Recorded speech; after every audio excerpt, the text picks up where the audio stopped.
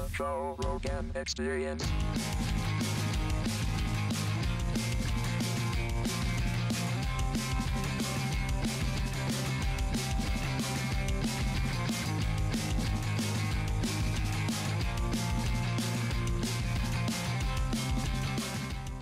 Hello, freak bitches. Joe Rogan Podcast. Check it out. The Joe Rogan Experience. Train by day, Joe Rogan Podcast by night. All day. С вами получаются мои самые любимые подкасты. Хотел вам признаться, я очень рад, что вы ко мне пришли сегодня. Все выходные я сидел как на иголках. Думал о сегодняшнем дне. Ну что, поздравляю с премьерой на Netflix. Я очень рад, что удалось попасть на такую мейнстримную платформу. Это большая победа лично для вас. Спасибо. Поздравляю! Спасибо.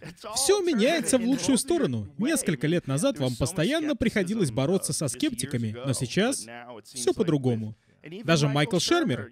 Вы показывали мне, что он сегодня в Твиттере писал. Нет, он это написал уже довольно давно. Но он пересмотрел критику нашей работы. Это произошло в свете новых доказательств ударной гипотезы позднего Дриаса. Совершенно верно. Сделать это шоу было непросто. Думаю, впервые столь радикальные идеи нашли свое воплощение на столь крупной платформе. Главная тема подчеркнута в его названии — древний апокалипсис. Ведь однажды наша планета столкнулась с апокалипсисом невероятных масштабов, и это не происходило одномоментно. Это были 1200 лет ада на Земле. Где-то в промежутке между 12 800 и 11 600 лет назад. И мейнстримные историки и археологи этого не признают. Это полностью изменило наш мир. Мы должны это признать, если утверждаем, что хотим иметь полное представление об истории человечества. Я очень рад, что Netflix взялись за производство этого шоу и будут показывать его для огромной аудитории. Надеюсь, это повлияет на наших академиков. Я не сторонник теории заговоров, но они ведут себя как ревностные охранители, которые решают, что можно говорить общественности, а что не очень-то и позволительно. Да, так, наверное, получается из-за всех книг, которые они написали, и из-за лекций, которые они читают. Они прочитали столько лекций, написали столько книг, где описаны теории срок годности, которых истек, и они не хотят с ними расставаться в свете новых доказательств. Они сопротивляются этому, насколько это возможно, потому что это бьет по их репутации арбитров правды. Да, думаю, есть такая проблема, но кроме этого происходили довольно мерзкие события. Из-за этого шоу меня забанили в Египте. Это умный ход со стороны археологов в целях борьбы с критикой их работ. Их подход — это забанить критика и запретить ему приезжать туда. Меня забанили в Серпент Маунт в Огайо. Можешь себе представить, Серпент Маунт — это национальное достояние. Людям нельзя запрещать туда приезжать. Забанили в смысле запретили там съемки? Да, когда мы связались с ними для съемок эпизода шоу для Netflix в Серпент Маунт, вначале они были доброжелательны. А затем они услышали, что Грэм Хэнкок ответственен за эту передачу, и сразу же они отвернулись и сказали «нет». В съемках вам отказано, потому что взгляды Хэнкока не совпадают с нашими. Ну, я обернул эту ситуацию в свою пользу.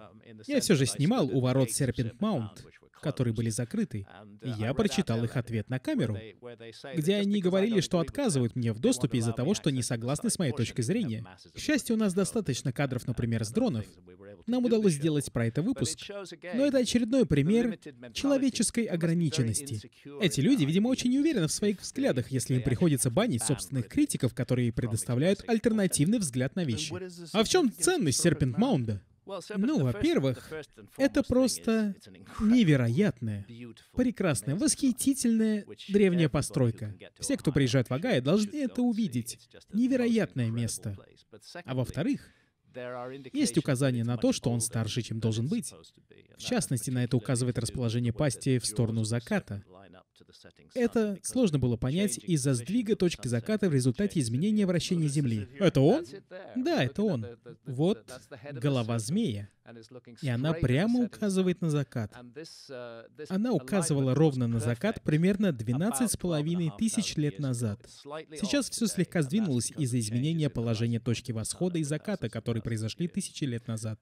Вот это им не нравится. Они не хотят, чтобы думали, что Серпент Маунт старше. Одна группа археологов считает, что ему тысяча лет, другая говорит о двух с половиной-трех тысячах лет.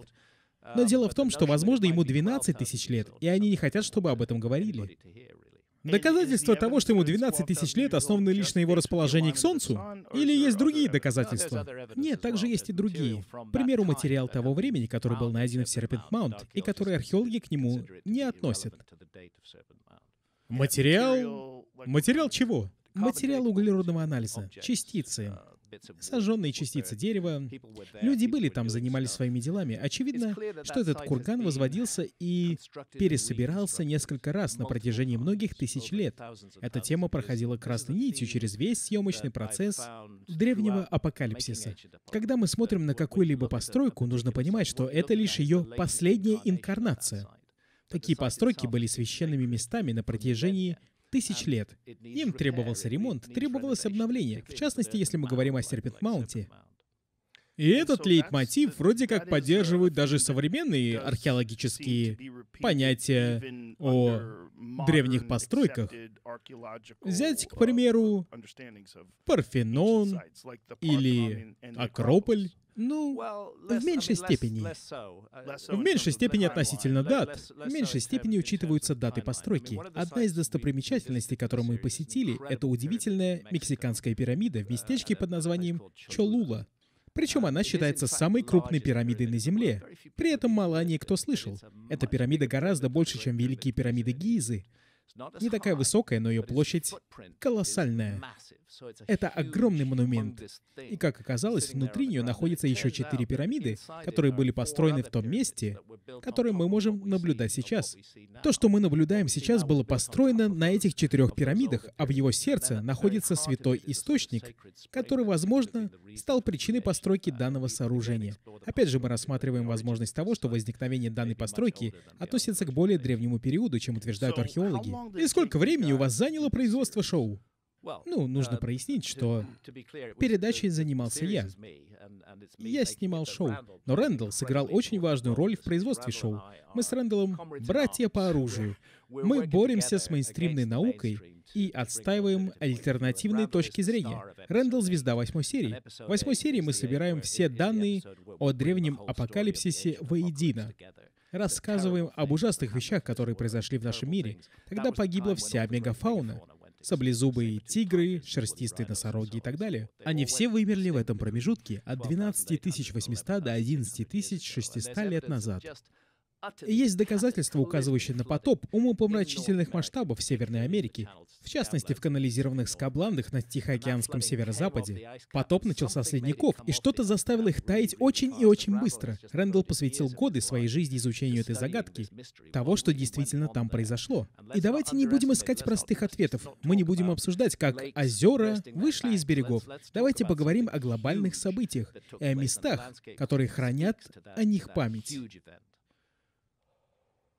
Рэндалл, ты рассказывал нам об этом ранее, но чтобы этот подкаст воспринимался целостно, думаю, нужно вспомнить всю историю. К тебе пришла эта идея... В каком году впервые к тебе пришла эта мысль? Когда впервые ты об этом подумал? Помнишь, ты рассказывал, как был под кислотой? Но это, это было в 1969 -м. Да, тогда я еще не сформулировал какую-либо гипотезу. Но ты об этом думал. У меня сложилось впечатление, так я это называю. Тогда я наблюдал за несоответствующими реками. Знаешь, что это? Нет. Джейми, можешь показать карту? Я покажу конкретно, о чем идет речь. Я приближу. Так, тут... Ну вот. Ништяк. HDMI подъехал. Ага, так. Отлично. Ну хорошо, сегодня ты узнаешь новый термин, Джо.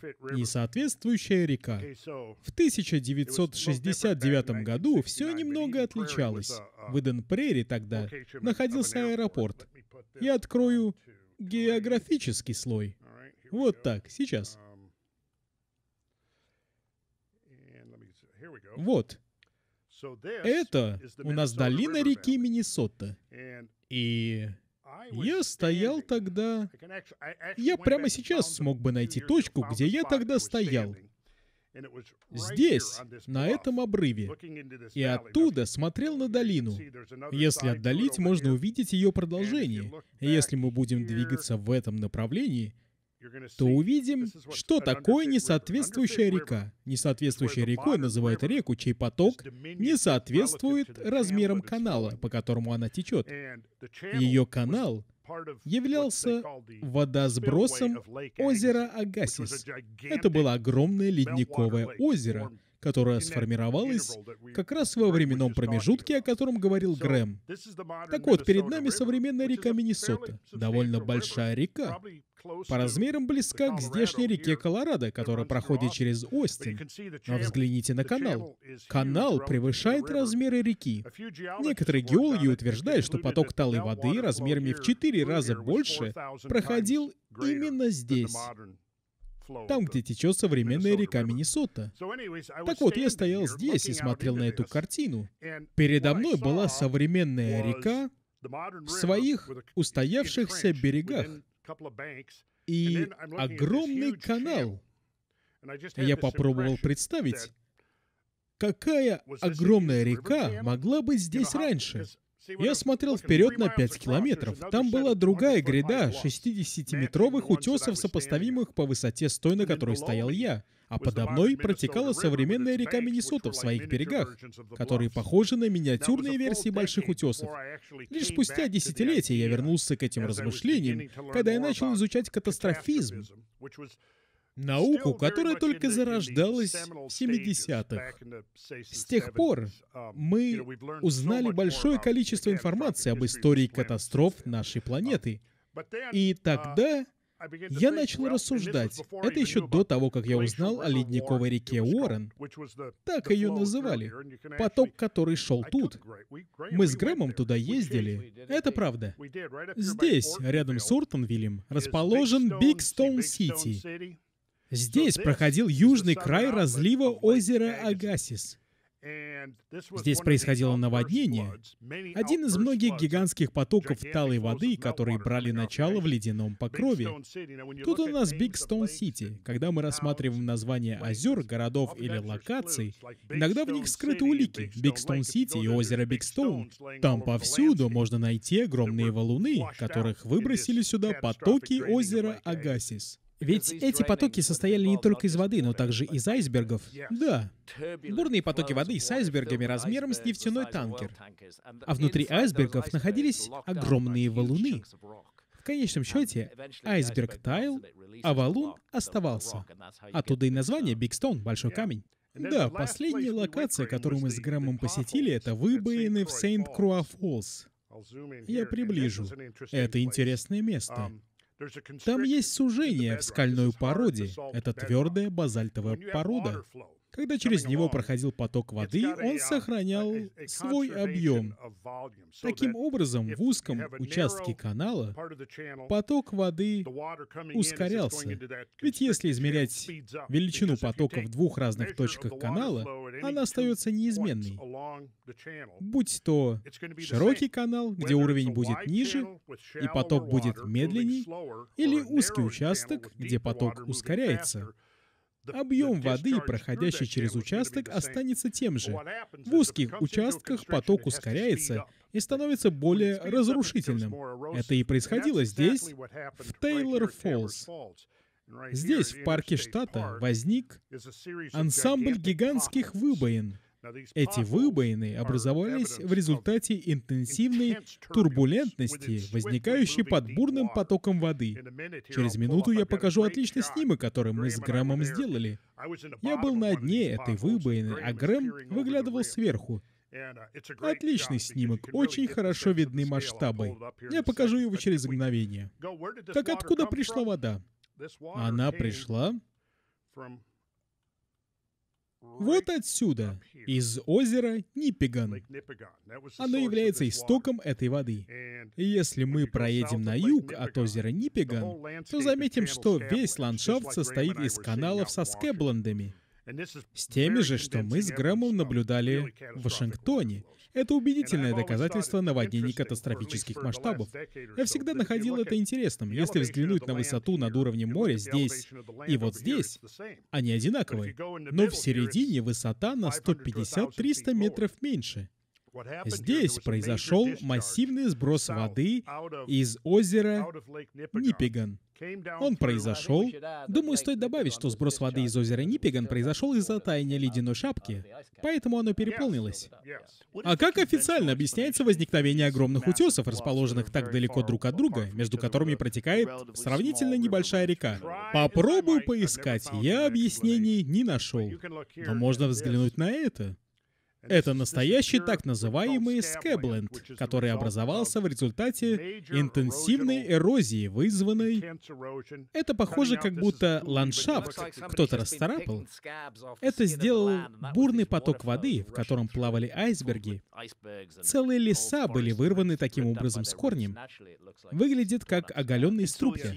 То есть вы предполагаете, что это произошло в результате катаклизма, вызванного столкновением с кометой. О, да, геолог Джеймс Тейлор датировал эти потопы. Они происходили 12800-12900 лет назад. И как ему это удалось? В большей степени благодаря радиоуглеродному анализу. Если поток несет с собой большое количество органики, кости, деревья, что угодно, нужно взять их образец, и эти образцы... Скажем, у нас есть гипотеза, что это потоп. В его результате перемешивается более молодой и более старый материал. Он смывает все на своем пути. И если собрать достаточное количество подходящего материала и проанализировать его, по максимальному возрасту образцов можно понять, когда произошел потоп.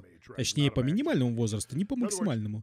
Другими словами, потоп мог снести нечто с возрастом в 15 тысяч лет и 12 тысяч лет. Так когда произошел потоп? 15 тысяч или 12 тысяч лет назад? Нужно искать материал с минимальным возрастом. Таким образом, можно понять, когда произошел потоп. Джеймс Тейлор проанализировал этот потоп, и результаты его исследований идеально сочетаются с гипотезой позднего Дриаса. Думаю, стоит добавить, что у всего есть причина. Сейчас об этом горячо спорят в научном сообществе. Мы знаем, что 12 800 лет назад был большой потоп. Вопрос в том, что стало его причиной. Что там произошло? Есть очень мощная гипотеза на этот счет, которую сейчас поддерживают более сотни мейнстримных ученых. Земля проходила тогда сквозь осколки дезинтегрированной кометы. И эта гипотеза называется ударная гипотеза позднего Дриаса. Несколько осколков распавшейся кометы, некоторые из которых могли быть довольно большими, возможно, километр в диаметре, упали на ледяную шапку Северной Америки. Ударная волна сгенерировала невероятное количество тепла, что растопило ледники, и вода хлынула на юг, наполнила и переполнила озера и сорвала покров ландшафта. Ударная гипотеза позднего Дриаса, пока что, на мой взгляд, является лучшим объяснением того, что на самом деле произошло. Мне приятно говорить, что Comet Research Group Ученые, которые стоят за этой гипотезой, финансируют свои исследования почти два десятка лет. Они не могли найти финансирование среди мейнстримных институтов, но пару лет назад Comet Research Group привлекли большое финансирование. Сейчас они могут позволить себе изучение антарктических льдов и собирать по всему миру доказательства того, что 12 800 лет назад катаклизм действительно произошел. И мы говорим о чем-то практически невообразимом в своем масштабе. И это изменило бы наши взгляды на историю человечества, если бы мы не сталкивались с сопротивлением. Не знаю, можно ли продемонстрировать небольшой отрывок, отрывок с Рэндаллом, который... Передай HDMI из передачи «Древний апокалипсис». Рэндалл там говорил в конце, что если принять все это во внимание, история человечества полностью изменится. За это мы и боремся. Мы боремся за то, чтобы все поняли, что мы упускаем нечто важное. Ну, поехали! Древние постройки, созданные с удивительным мастерством. Это самый поразительный археоастрономический комплекс Северной Америки. Мы обнаружим следы продвинутых доисторических цивилизаций. Эта колонна является нашим личным розетским камнем.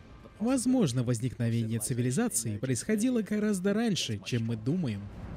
Эти новые открытия способны переписать историю. У-у-у. Это наша цель. Именно поэтому я сделал эту передачу. Эти идеи должны обсуждаться. Мы должны превозмочь самодовольство в изучении нашей истории. Таким образом, мы избавимся от самодовольства в наших взглядах на будущее. Мы живем в хаотичной космической среде. Нам повезло, что мы живем в те времена человеческой истории, когда, если мы захотим, мы можем это изменить. Что побудило тебя этим заняться? Я знаю, что следы богов были опубликованы в 90-х, в 95-м. Тогда я ее впервые прочитал и с тех пор помешался на этой теме. Что сподвигло тебя написать эту книгу? Это был долгий процесс. Я раньше работал журналистом текущих событий, восточноафриканским корреспондентом для The Economist. Мне история совсем была неинтересна, но я начал натыкаться на разные вещи, в частности в Эфиопии, а затем в Египте, которые заставили меня задуматься о прошлом. Глядя на великие египетские пирамиды, к тебе словно приходит откровение. В 89-м я их впервые увидел, и я не наблюдал ничего подобного ранее. 16 миллионов тонн материала, 230 метров в высоту, площадью в 13 акров. Массивное строение, о котором археологи твердят, что это лишь гробница фараона. Хотя ни разу тело фараона там не находили. Ни в одной древней египетской пирамиде. Ведь должно быть какое-то другое объяснение. Я всегда был контрарионистом Всегда уделял внимание другой точке зрения. Ненавижу, когда существует единственный нарратив, который говорит нам, что есть лишь одна правда. И я почувствовал, что важно представить альтернативную точку зрения. Я начал подробно изучать этот вопрос. Может быть, мы что-то упускаем в истории нашего прошлого, поэтому я написал «Следы богов». Я хотел донести до читателей эту информацию, чтобы люди владели данными, которые до этого были недоступны чтобы они могли сделать свои выводы, вместо того, чтобы верить на слово так называемым экспертам. Эти эксперты прекрасно знают, что я не могу делать свою работу без археологических изысканий, но они не должны владеть монополией на историю о прошлом человечества. Наше прошлое принадлежит нам, принадлежит всем нам. Будь то это академик или простой прохожий, мы все способны сделать вклад в развитие понимания о нашем прошлом. А ударная гипотеза позднего Адриаса когда впервые возникла? В 2007 Тогда я впервые на нее наткнулся, и она сразу же привлекла мое внимание. Ведь, когда я писал «Следы богов», я рассуждал о возможном глобальном катаклизме гигантских масштабов, который произошел где-то 12 500 лет назад. Но я не знал причины его возникновения. У меня было несколько предположений. И вдруг в 2007 возникает гипотеза, которую разрабатывают мейнстримные ученые, и они говорят, что, похоже, их было несколько. Не один, а серия столкновений по всей Земле примерно 12 800 лет назад, которая стала причиной этого катаклизма. Я начал следить за этой теорией, и где-то к 2013 для меня стало очевидно, что эти ученые наткнулись на большое открытие. Я окунулся в их исследования и написал еще пару книг «Кудесники богов» и «Доисторическая Америка». О них мы говорили в твоем подкасте в 2020 и 2019, я хотел опубликовать эту информацию. Меня поражает ленивая реакция археологов на альтернативные точки зрения. В моем случае, они практически никогда не рассматривают материалы, на которые я ссылаюсь в своих книгах. Они говорят, да это же Хэнкок, псевдоученый. Он мошенник, лжец. Они никогда не объясняют, почему я псевдоученый, почему я мошенник и почему я лжец.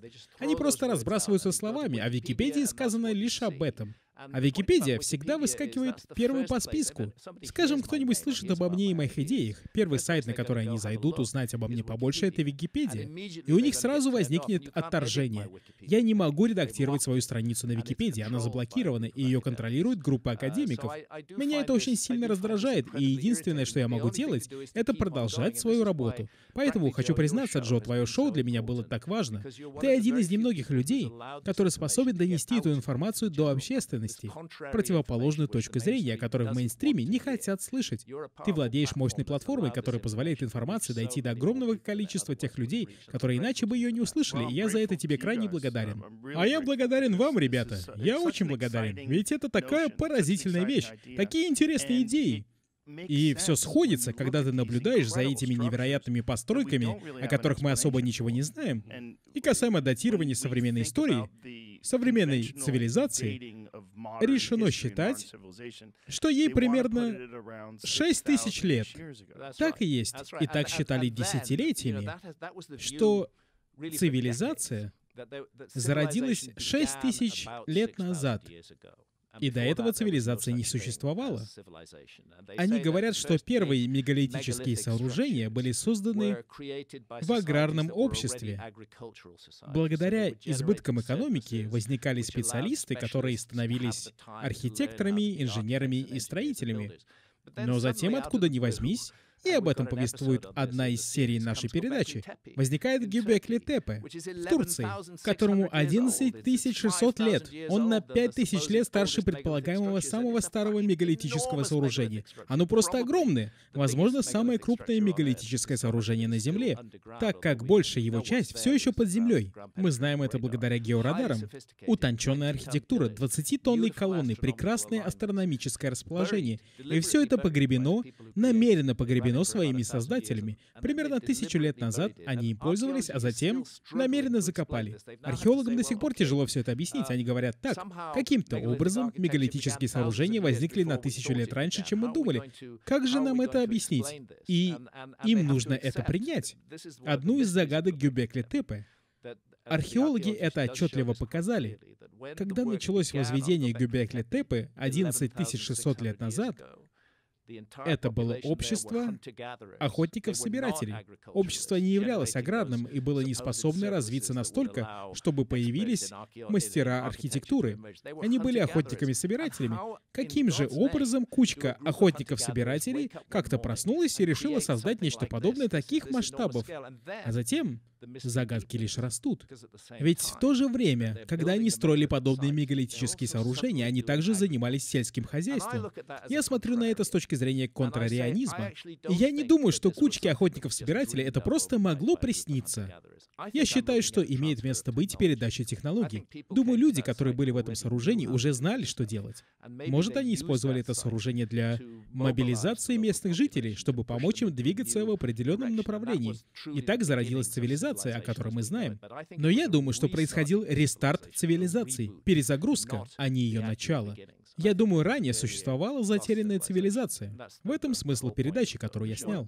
Почему бы тебе не рассказать о событиях, которые происходили как раз 11 тысяч лет назад? Это очень важная, невероятно важная дата. Поздний Дриас возник 12 800 лет назад из-за катаклизма в результате одновременного загадочного повышения уровня моря. Наступило тысячи лет холодов, массовое вымирание животных по всему миру, а 11 600 лет назад глобальная температура резко возросла, последние ледяные шапки канули в море, и уровень воды сильно повысился. Тогда началась работа над Гюбекли Тепе. И тогда же, об этом я говорил много раз, но это важно, потому что археологи закатывают глаза, когда слышат слово «Атлантида». Но именно об этой дате писал Платон, в чьих трудах впервые появляется упоминание Атлантиды. Именно тогда произошло падение Атлантиды, 11 600 лет назад. Он писал, что его предок Салон побывал в Египте. Мы знаем о его визите, это исторический факт. Он был в Египте в 600 году до нашей эры. И Салон говорил, что египетские жрецы рассказывали ему о продвинутой великой цивилизации, которая когда-то существовала, но она прогневала богов и была уничтожена после Великого потопа. Салон спрашивал египетских жрецов, когда это произошло. И они сказали, 9 тысяч лет назад. А теперь посчитаем. Это был 600 год до нашей эры. Сложи 9000 лет до этого и получим дату 9600 лет до нашей эры. Это 11600 лет назад. Именно тогда завершился поздний Триас. И именно тогда произошло то, что называется импульс талой воды 1b. Самый большой скачок уровня воды, который когда-либо был. Если Платон это придумал, то это очень странное совпадение. Он выбрал дату, которая точно сопоставима с последними геологическими доказательствами катаклизма, связанного со скачком уровня моря в конце ледникового периода. Может и совпадение, но очень удачное. Хочу сказать, что я записывал видео в двух частях, где я описывал все детали, о которых только что сказал Грэм, а также геологические данные, которые подтверждают или опровергают свидетельства Платона. Его можно скачать на моем сайте, оно длится 7 часов. Семь часов углубленного... Ты глубоко копаешь, братан, глубоко. А академики этим себя не утруждают, потому что в своей гордыне и высокомерии они считают, что Платон это просто выдумал. Это все фантазии. Они этого не знают. И есть такие люди, как Рэндалл, которые перерабатывают огромные потоки информации, чтобы мы снова об этом задумались. Но есть достаточно доказательств существования подобных мест, которых раньше считали мифами и легендами. Взять Трою, к примеру. Сейчас доказано, что существовал такой город, который совпадает с его изначальными описаниями, историческими описаниями. Мы не должны отбрасывать мифы, к ним надо прислушиваться. Они хранят память об истории нашего вида. Возможно, они описаны языком символизма и вокруг выстроена витиеватая история, но в ядре мифов находятся факты. Да и какой способ передачи информации будущему поколению лучше, чем интерпретация их через фантастические истории? Люди продолжат их пересказывать. Им нравится рассказывать истории. Им даже не нужно докапываться до истинного смысла. Захватывающая история будет передаваться из поколения в поколение. Я думаю, мифы крайне важны. Мы занимались этим в моей передаче для Netflix. Мы разбирали мифы. Атлантида — не единственный миф. Существует тысячи сказаний со всего мира о глобальном потопе, который уничтожил прошлые цивилизации и завершил Золотой век. Учитывая фактические доказательства и мифы, Появляется ли больше людей, которые непредвзято и с интересом изучают этот вопрос? Я бы сказал, что да. И я в этом убеждаюсь, потому что я получаю много e-mailов и сообщений от людей, причем молодых людей, которые пишут, «Я смотрел ваши работы, работы Грэма, и теперь хочу заниматься геологией». Много таких. Или палеонтологией археоастрономии, археологии. Благодаря таким сообщениям, каждый раз, когда я читаю подобное, это меня вдохновляет. Думаю, что в этом суть старой аксиомы. Для того, чтобы мы продолжили развитие, минуя устаревшие закостенелые теории, ее привратники должны уйти, и должно прийти новое поколение, которое способно увидеть что-то вне догматических рамок. К тому же, если ты молодой археолог, который пытается внести посильный вклад, лучше всего обратиться к огромному количеству доказательств, которые подтверждают скандальную теорию, которая практически не изучена. Это требует мужества. Археолог должен быть решительным, ведь если он будет развивать подобные идеи, на повышение он может не надеяться. Археология очень строгая дисциплина. Если ты не повторяешь то, что говорит твой профессор, и идешь в разрез с его идеями, от тебя избавиться. Есть множество людей, внесших большой вклад в археологию, которые не вписываются в мейнстрим, и коллеги от них дистанцировались. Во мне теплится надежда, правда. И одна из вещей, которая вселяет в меня надежду, это реакция на работы Брайана Марареску. Книга «Ключ к бессмертию» просто удивительно. Я к ней написал предисловие. Да, и ты с ним был на подкасте удаленно. Когда мы его записывали, он поделился огромным количеством информации. Мы говорили о древних глиняных сосудах, которые иллюстрировали действия психоделиков, смешанных с вином, что впоследствии могло стать источником множества изобретений, в том числе даже демократии. Просветление приходило людям на этих ритуальных собраниях, куда съезжались со всего мира. Сейчас эти данные широко приняты и являются объектом изучения в Гарварде. Да, давайте поразмышляем. Именно поэтому исследования психоделиков показывают, что они успешно лечат глубокую депрессию. Ведь глубокая депрессия — индикатор того, что ты застрял в узких рамках и не способен из них выбраться. И, по всей видимости, психоделики способны сорвать этот замок, и благодаря этому ты открываешься, и к тебе приходят новые идеи. Неудивительно, что психоделики совершили революцию в древнем мире. Я совершенно убежден, что в мире не существует такой религии, и это расстроит множество людей. Но не существует такой религии, которая возникла не благодаря измененному состоянию сознания. Если мы говорим о забытой цивилизации, я верю, что существовала цивилизация, которая выросла из шаманизма, где измененное состояние сознания являлось ее фундаментом. В нашем обществе нас учат презирать такие вещи. Мы должны быть машинами решения насущных проблем. Но в измененном состоянии сознания приходит настоящий креатив. И люди способны выйти за рамки своих ограничений и двигаться в новых направлениях. Я рассказывал тебе о моем друге Бенни Джонсоне. Он бывший морской котик, 11 лет на службе. Он страдал от ПТСР, открыл для себя псилоцибиновые грибы. Это было лет 12-13 назад. У многих его братьев по оружию были те же проблемы с ПТСР. Оказалось, что псилоцибиновые грибы являются крайне эффективным средством лечения. Он увлекся этим вопросом и начал их растить.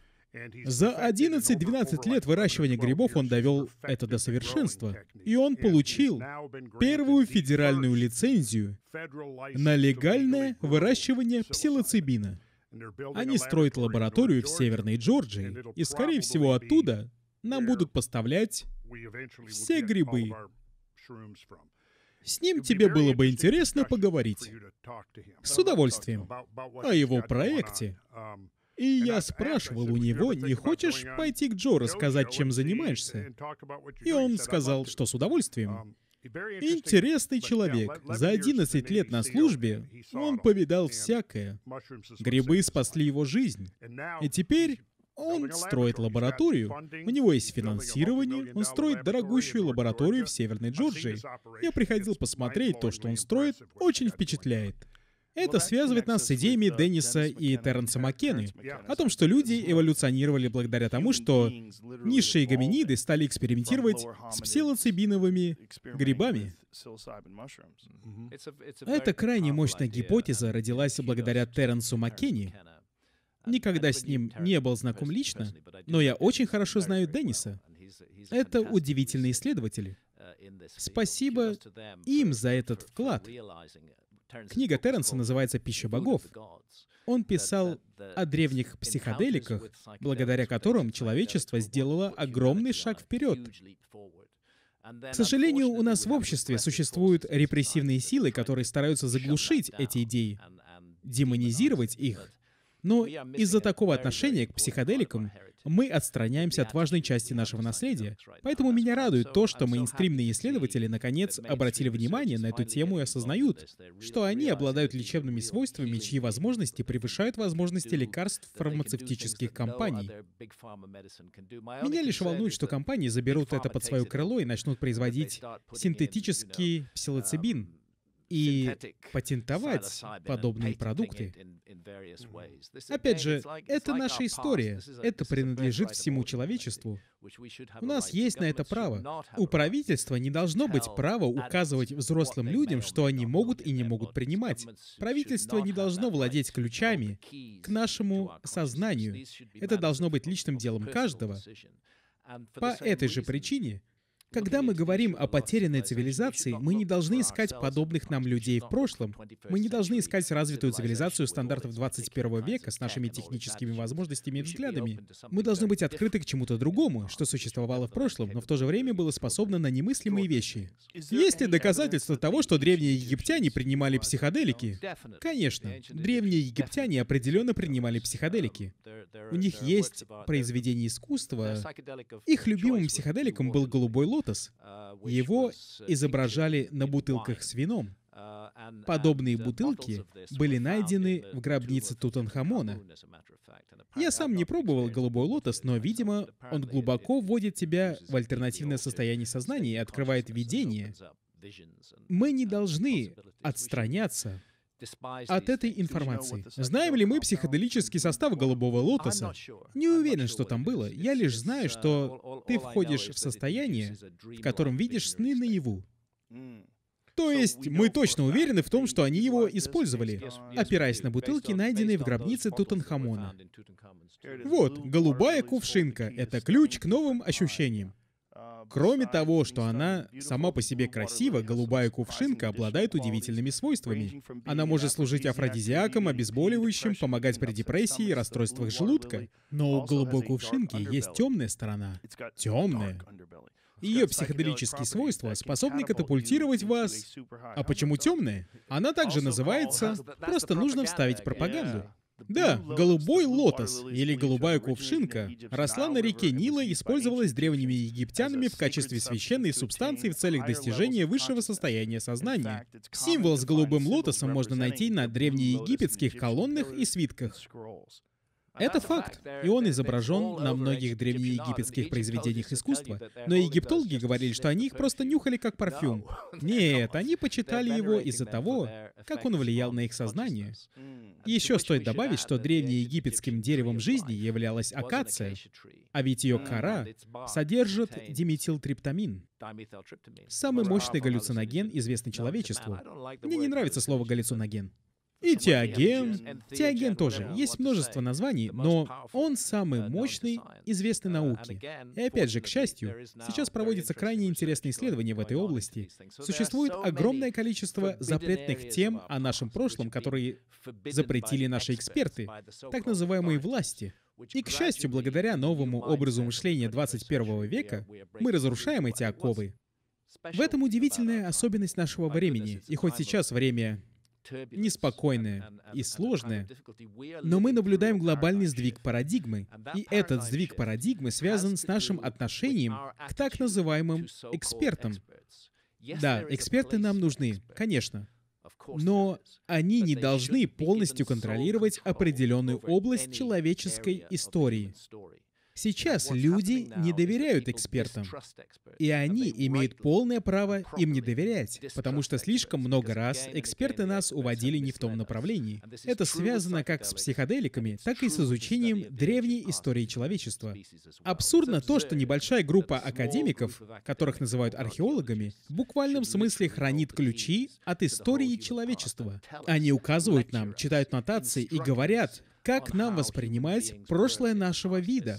Хотя есть большой простор для исследований в этой области, и люди без академического образования способны закатать рукава и заниматься делом. Рэндалл — типичный пример такого человека. У тебя не было бэкграунда в геологии и археологии, но ты закатал рукава и занимаешься делом. У него и сейчас закатаны.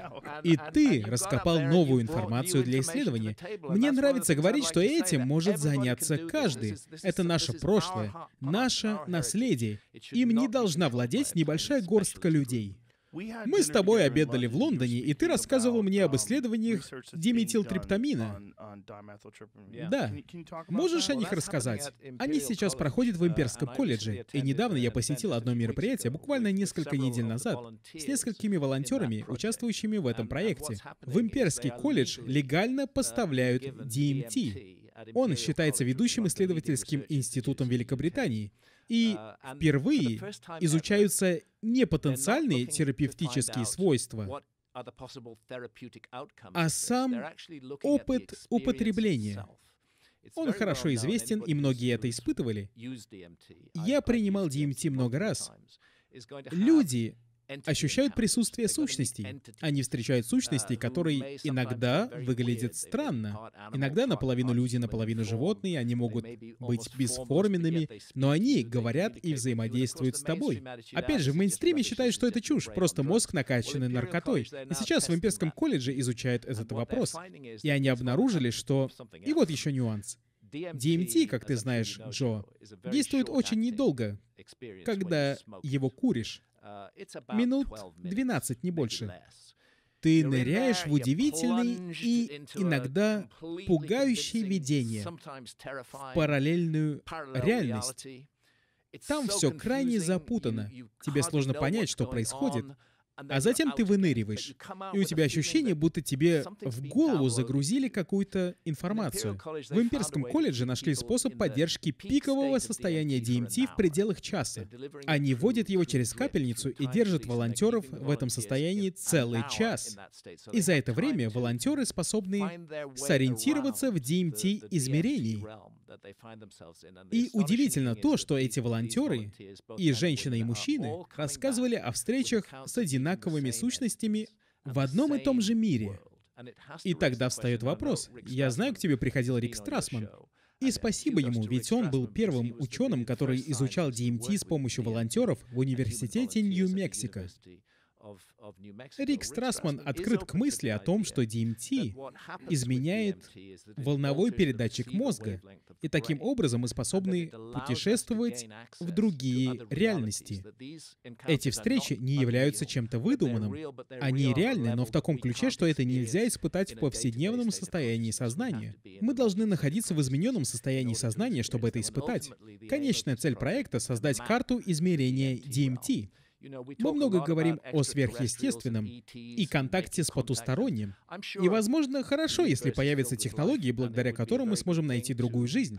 А может, и не очень хорошо учитывая, какие еще могут быть формы жизни во Вселенной. Но в DMT реальности внутри нашей головы у нас есть возможность путешествовать в другие миры, в другие реальности, встречаться с сущностями, которые отличаются от нас и которые могут нас многому научить. Я думаю, что нам нужно больше исследовательских фондов, которые занимаются изучением этих ощущений и смогут разобраться, как все это работает, вместо того, чтобы всем нам удалиться на другие планеты. Давайте займемся и тем, и тем, но давайте убедимся в том, что понимаем, сознание — это большая загадка. И в нашем сознании DMT способна открыть двери в параллельную реальность. В этом есть некоторая связь с квантовой физикой и с понятиями о параллельных реальностях и измерениях. Может, у нас есть к ним доступ? Ну, исследования Имперского колледжа помогут пролить свет на этот вопрос. К тому же, это дешевле. Гораздо, чем путешествие в другие галактики. Да, давайте начнем с этого. Давайте поймем, кто мы такие, что является нашим сознанием. Давайте не зацикливаться на том, что мы созданы лишь для того, чтобы размножаться, потреблять и покупать машины. Конечно, это тоже часть нашей жизни, но это не все. Мы загадочные и глубокие создания. Возможно, психоделики — это еще один путь к познанию сознания. И на этом пути мы можем обнаружить, что вокруг нас существуют другие реальности, которые можно увидеть лишь в измененном состоянии сознания. И да, в плане финансирования эти исследования гораздо дешевле, чем полеты на Марс. Я не говорю, что это нам не нужно.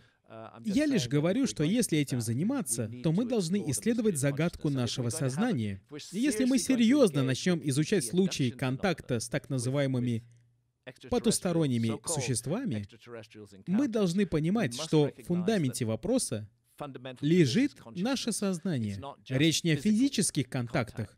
Тут дело в сознании. В 2005 году я написал книгу «Сверхъестественные контакты с древними учителями человечества». И вот что меня поражает, Джо. В Средневековье описывали контакты с эльфами и феями. Шаманы до сих пор описывают контакты с духами. И все особенности этих контактов также применимы к контактам с так называемым сверхъестественным, который описываю сейчас. Как будто в каждом поколении, каждой цивилизации мы ощущаем одно и то же, но описываем это при помощи нашего культурного бэкграунда. В Средневековье это были эльфы и феи, шаманы называли их духами. Сейчас мы называем это сверхъестественное. Но если мы правда хотим заняться этой проблемой, а ведь это проблема, загадка, я ее не преуменьшаю, это важный вопрос. Чтобы его решить, нам нужны психоделики, для того, чтобы исследовать загадки нашего сознания. Да, я рад, что изменилось общественное мнение по поводу этого вопроса. Люди сейчас более открыты, чем когда-либо. Да. По крайней мере, за мою жизнь. Я помню, как рассказывал людям про DMT в начале нулевых. Мне говорили, что с тобой? Ты спятил? А сейчас у каждого есть кузен с историей про аюваску или псилоцибин. Личный опыт с пейотом. Да, это распространяется. Я бы сказал, что это связано с глобальными здоровыми изменениями в нашем обществе, изменениями отношения к экспертам. Нет слепой веры в то, что говорят нам ученые. Мы начинаем думать своей головой. И мы не хотим, чтобы нам указывали, что нам думать. Мы хотим сами искать ответы. И эти изменения также влияют на отношение к психоделикам. Если люди ответственно подходят к психоделикам. Психоделики — серьезная штука. Мы оба это знаем. Очень серьезная. Я бы не хотел, чтобы дети принимали психоделики. Но если мы хотим уберечь детей от психоделиков, гораздо продуктивнее было бы их разрешить, чем запрещать, мотивируя развитие черного рынка. Это вещь для зрелого разума. И я считаю, это должно быть фундаментальным правом взрослого человека — иметь возможность исследовать собственное сознание, если при этом мы никому не вредим. Я замечаю, как эти идеи находят широкое распространение в обществе. Какое право имеет пиджак указывать мне, как заботиться о собственном здоровье и сознании? Если я никому не врежу, это мое личное дело. Согласен. Если это является источником цивилизации или одной из причин, которая повлияла на творческое развитие человека, на то, что люди могли создавать подобные невероятные строения десятки тысяч лет назад, тогда все это отлично сочетается с теми апокалиптическими сценариями, о которых вы рассказываете. Потому что если у нас нет понимания того, откуда мы пришли, то тогда у нас нет понимания, что это может произойти с нами снова. Вполне возможно, что это снова с нами произойдет. Это действительно с нами может произойти снова. В восьмой серии Древнего Апокалипсиса один из ученых Comet Research Group как раз об этом говорил. Расколотая комета нанесла такой колоссальный урон Земле 12 800 лет назад, и при этом ее осколки до сих пор находятся на орбите. Земля проходит через них дважды в год. И в течение следующих 30 лет мы будем проходить через опасный участок, где находится метеорный поток Тауриды, шириной в 30 миллионов километров. Нам нужно тщательно следить за этим, ведь у нас не все потеряно, мы способны решать такие проблемы, если захотим. Давайте перестанем драться друг с другом, ненавидеть друг друга и наполнять нашу речь яростью и злостью. Давайте работать вместе, единым человеческим фронтом, и сделаем этот мир лучше для всех. Вот что сейчас происходит. Развивается новое мышление, и оно набирает силу. И я радуюсь, глядя на нынешнюю молодежь. Они отказываются подчиняться приказам властных сил. Мы хотим думать своей головой. И это мышление все изменит. Нам кажется, что сейчас настали темные времена. Сейчас многое происходит. Так всегда бывает, когда происходит сдвиг парадигмы. Нам кажется, что настали темные времена, но жить в наше время — это привилегия. Ведь спустя две-три сотни лет наше время будет считаться поворотной точкой в истории человечества. Нужно кое-что упомянуть. Если мы вспомнили о метеорном потоке Тауриды, мы проходим через него прямо сейчас, во время нашей беседы. Прямо сейчас. С конца октября и до второй недели ноября, в 15-17 числах, Земля пройдет через этот поток. И, возможно, это один из важнейших метеорных потоков в истории текущей жизни, которая обитает на нашей планете. И такие люди, как Билл Нейпиер и другие, маститым астрономам это известно. И как будто какая-то сила их заглушает, и мешает распространению этой информации.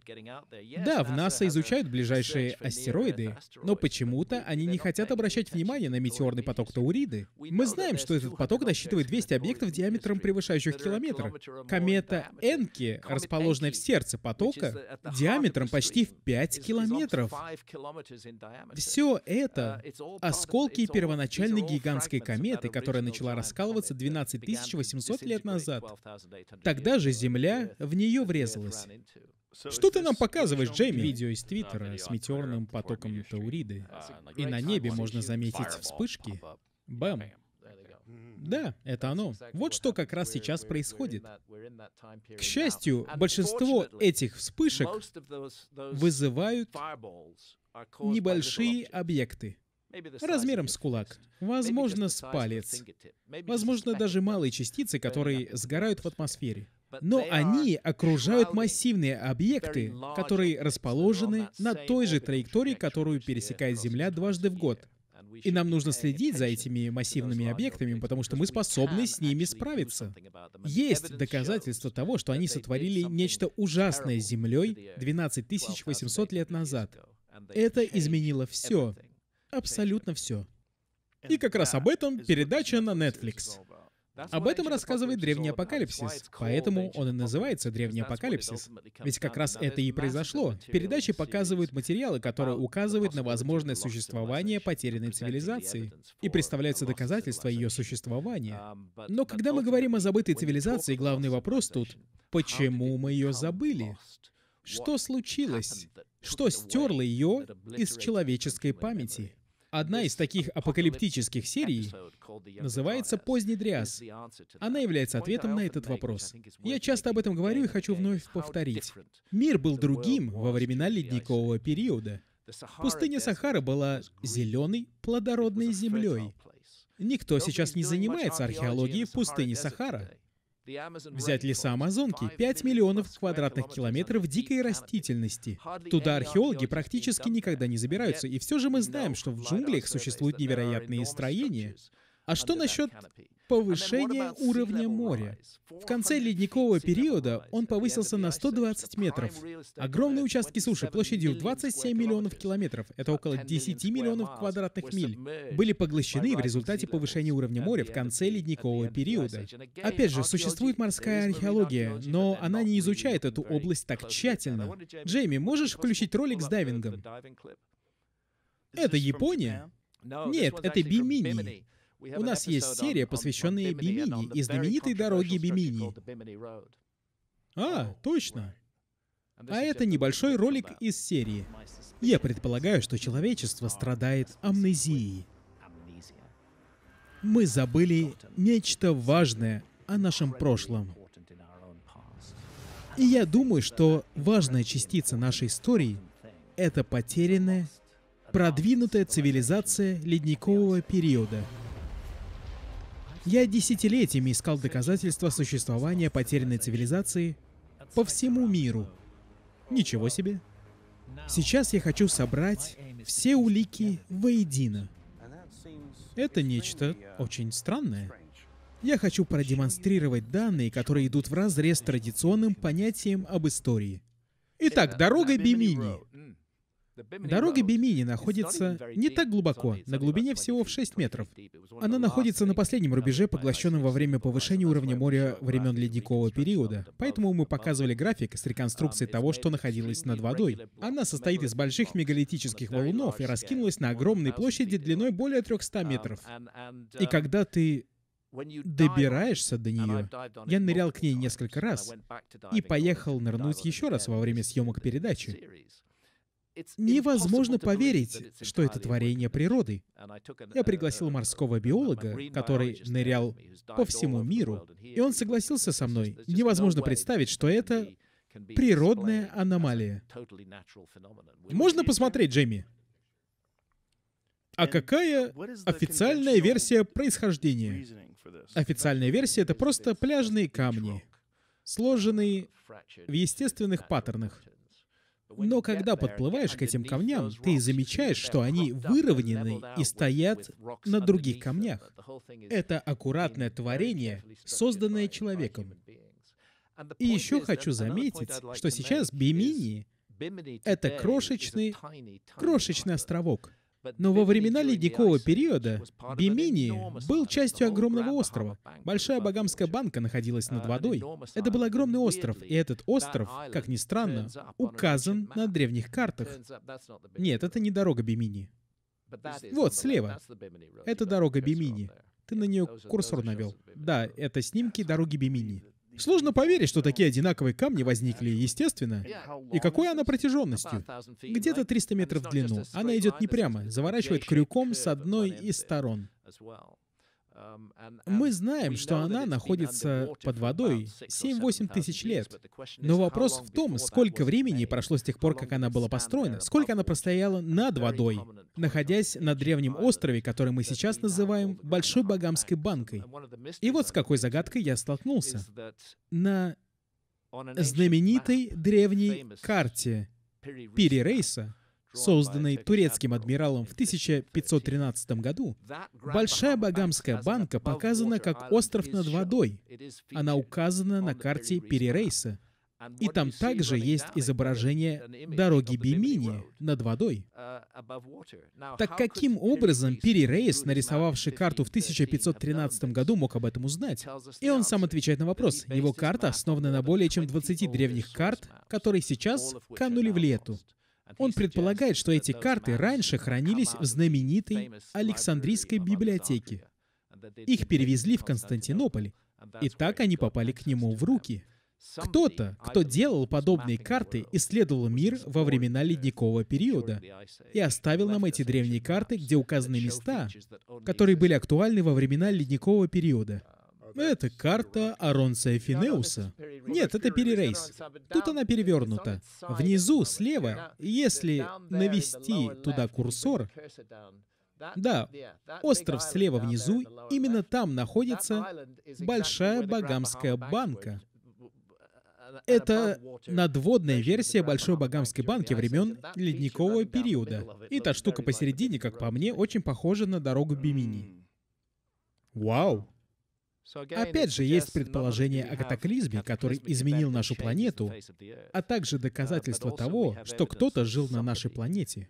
Кто-то пока не идентифицированный археологами, и эти люди исследовали мир, создавая карты во времена ледникового периода. Меня поражает, что на древних картах присутствует Антарктика, ведь мы ее открыли лишь в 1820-м, и она в деталях описана на картах 15 века. Опять же, эти карты основаны на древних картах, которые от нас ускользнули. Есть поразительная карта мира Пинкертона. Поищи, Джейми, созданная в 1813-18 годах. Она была основана на последних открытиях того времени. И что там с Антарктикой? Так, правее. Вот это. Та, которая сверху. Там, где Антарктика, просто пустота. Ведь это честная карта, ее тогда еще не открыли.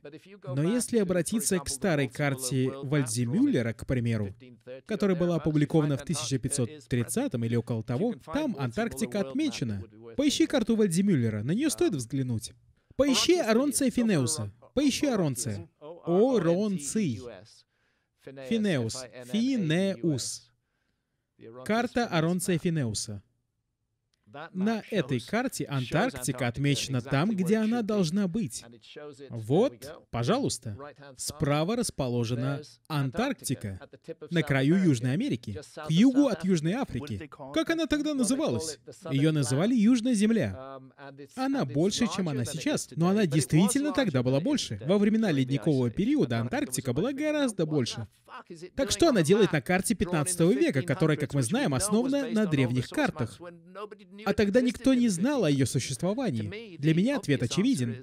Это следы потерянной цивилизации, которая создавала карту мира и оставила доказательства своих исследований, которые нашли древние картографы и использовали эти данные в своих работах. Эти карты сложно понять, потому что они сочетают в себе актуальные исследования тех лет с данными из старых карт. Но глубокий анализ данных карт не может не заинтриговать. Возвращаясь к вашим представлениям о возникновении продвинутой цивилизации. О каком промежутке времени мы говорим? Думаю, что мы действительно... Оценил мою футболку? Все лишь становится старше. Это мой девиз. Дети подарили ее мне на день рождения. Отчасти это легкая самоирония. Ведь Черт возьми, я тоже становлюсь старше. Сейчас мне 72. Отчасти это самоирония, но отчасти это описывает кое-что другое. С развитием науки мы все чаще находим доказательства того, что человечество гораздо старше, чем мы думали. 25-30 лет назад люди считали, что люди с привычной нам анатомией возникли не позднее 50 тысяч лет назад. Затем нашли анатомически похожих на нас людей, которые жили 196 тысяч лет назад. Затем в Марокко нашли останки людей, живших 300 тысяч лет назад. Людей, похожих на нас, и с тем же мозгом и возможностями, что и у нас. С расширением этой временной планки возникает больше вероятности для возникновения продвинутой цивилизации цивилизации, которая была уничтожена. Во временном промежутке в 50 тысяч лет не так много простора для ее возникновения, но за 300 тысяч лет времени достаточно. Лично я считаю, что продвинутая цивилизация существовала во времена ледникового периода. Она обитала на лучших землях того времени, на побережьях, и она была практически полностью уничтожена в результате катаклизма позднего Дриаса.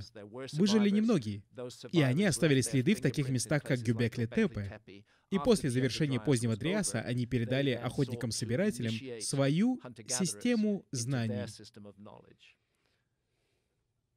Таким образом, если говорить о Ниле и Древнем Египте, когда зародилась эта цивилизация?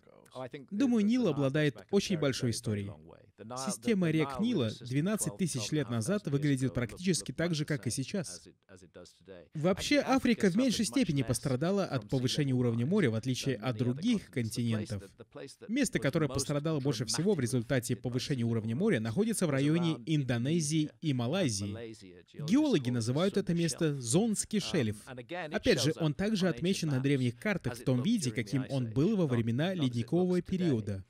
Не так, как он выглядит сейчас. Площадь размером с континент ушла под воду. Если континентальный шельф материка мелководный, короткий и с резким перепадом склона, немного суши уходит под воду.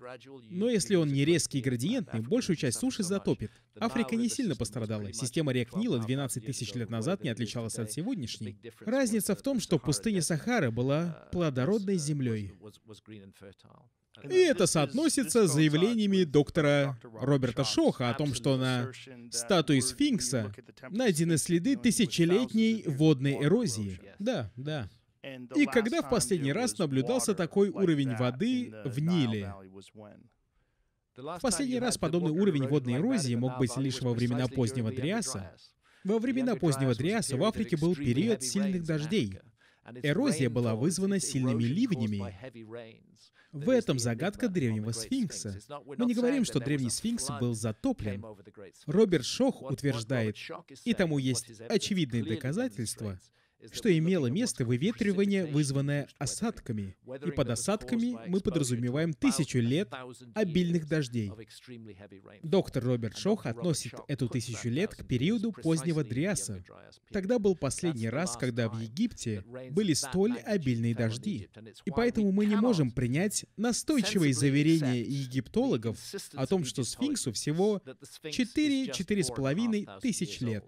Конечно же, в 2500 году до нашей эры древние египтяне уже были. Но я думаю, что они нашли уже построенного сфинкса, пострадавшего от эрозии.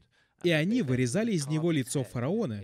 И как вновь заметил Роберт Шох, голова слишком маленькая по отношению к остальному телу. Это имело бы смысл, если раньше там была голова льва, из которой впоследствии вырезали голову фараона. Геологи указывают на то, что возраст оригинального сфинкса насчитывает более 12 тысяч лет. И вот что забавно. когда Роберт Шох... И, кстати, не стоит забывать Джона Энтони Уэста. Я знаю, что Джон Энтони Уэст успел перейти в твое шоу до того, как он скончался. Он был первым, кто предположил, что сфинкс таит в себе большую загадку. Следы эрозии на сфинксе указывают на то, что он гораздо старше, чем утверждают археологи. Возможно, ему 12 тысяч лет. И археологи тогда отвечали, что за глупости? Сфинксу не может быть 12 тысяч лет, потому что во всем мире нет мегалитических построек, чей возраст насчитывает 12 тысяч лет. И этот аргумент окончательно захлебнулся, когда в Турции произошло открытие Гюбекли-Тепе. А ведь это не так далеко от Египта. Гюбекли-Тепе 7600 лет. Это гигантская мегалитическая постройка. Господи, если кто-то смог воздвигнуть Гюбекли-Тепе, сфинкса тоже бы смогли. Все это добавляет веса аргументам Роберта Шоха. Я бы отдельно хотел отметить его вклад. Это мейнстримный академик, который добровольно был готов подставиться под постоянные обстрелы от своих коллег. Он привержен данным, данным. А данные указывают на то, что, несмотря на мнение египтологов, сфинксу больше 12 тысяч лет. Джейми, можешь поискать фотографии? Они очень показательны. Исследования водной эрозии по всему храму Сфинкса действительно поражают. Даже для человека, который мало знает об эрозии. Если посмотреть на разный уровень эрозии каменных пород, некоторые из них у него тверже, поэтому они меньше были ей подвержены, а некоторые больше — это наиболее очевидно в траншее, окружающей сфинкса. Там заметней. Эти глубокие вертикальные трещины — классический пример выветривания, вызванного осадками. Классический пример влияния ливней. Вода скатывалась по этим желобам. Это сложно заметить на теле сфинкса по одной простой причине. Тело сфинкса постоянно обновлялось. Некоторые из блоков, которые мы наблюдаем, относятся к периоду Старого Царства, когда сфинксы по заверениям создавались с нуля нуля.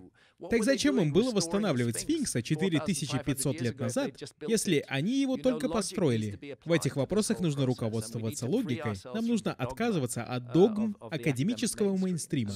Если водная эрозия наблюдалась много тысяч лет назад, за тысячи лет раньше датирования этой эры египтологами, по твоему мнению, как давно возникла наша цивилизация? Насколько она древнее? Она могла возникнуть за 20 тысяч лет до этого периода времени. Думаю, все происходило в одно время. Опять же, нужно кое-что сказать. Археологи твердят, что во времена ледникового периода было общество охотников-собирателей. Это было где-то 20 тысяч лет назад. Пик ледникового периода. Это если верить археологам.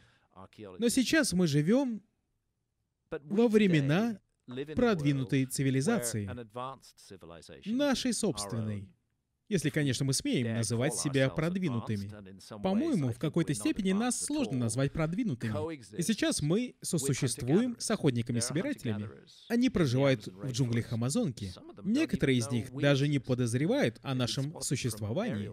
Их находили с воздуха.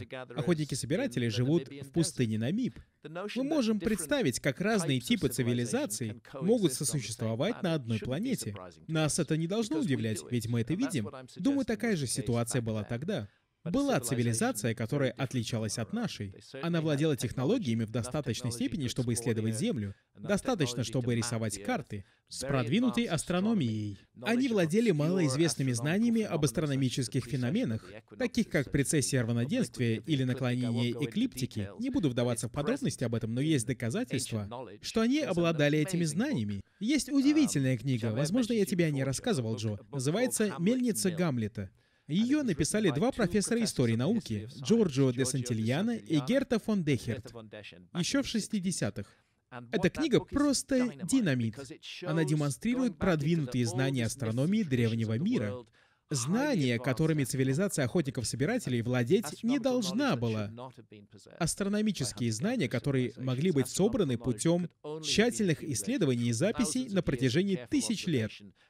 Эти знания проглядываются в самых древних мифах человечества. Как раз эта книга «Мельница Гамлета», а также вдохновение от вида великих пирамид привели меня к тому, что я начал задавать вопросы о нашем прошлом. Я думаю, будет здорово, если у нас будет альтернативный нарратив. И я не понимаю, почему археология, скажем так, боится альтернативных точек зрения. Ведь если дело не в страхе, Почему они воспринимают это как смертельную угрозу? Почему они меня не допускают к древним местам, если дело не в страхе? Будь они уверены в собственной правоте, они были бы способны ответить на любую критику, вместо того, чтобы заниматься цензурой альтернативных точек зрения. Среди всех древних сооружений Великие пирамиды Гизы, мне кажется, самые впечатляющие. И некоторые ее блоки были вырезаны в карьере, который находился за сотни миль от стройки. Как, по-твоему, им это удалось? Гранит для Великих пирамид был привезен с юга и проделал путь в более 800 километров. В знаменитой царской палате стены и крыша, потолок царской палаты, был сделан из гигантских гранитных блоков. Удивительная штука. Удивительная. Каждый блок с потолка царской палаты весит 70 тонн. Египтологи говорят, что они могли передвигать большие блоки, размывая песок и толкая блоки по мокрому песку. Может быть, на уровне Земли это возможно. Но на высоте в 100 метров, как в царских палатах, это невозможно. Я не знаю, как им это удалось. Но я знаю, что они это сделали. Думаю, что никто не знает, как им это удалось. Как они поднимали эти блоки на такую высоту. Думаю, в этом опять же замешана забытая технология. Древний апокалипсис, произошедший 12 800 лет назад, практически полностью стер это из человеческой памяти. Потому что были те, кто выжил. Но многое было забыто. Рэндалл может подтвердить. В результате повышения уровня моря некоторые зоны подверглись интенсивному воздействию. Все, что было тогда на побережье, было полностью уничтожено. Расскажи об этом, Рэндалл. Да, все происходило гораздо более интенсивнее, чем сейчас. Представьте, если вдруг уровень моря начнет повышаться в 3-4 раза быстрее того, что мы могли наблюдать за последний век. Причем в некоторых местах все происходило еще стремительней. Мы говорим об интенсивных приливно-отливных зонах, и все, что было в них расположено, кроме огромных мегалитических блоков, было полностью уничтожено к концу этого процесса. Думаю, что как раз этот момент археологи и историки древнего мира упускают, а именно тяжелые последствия событий, о которых мы говорим.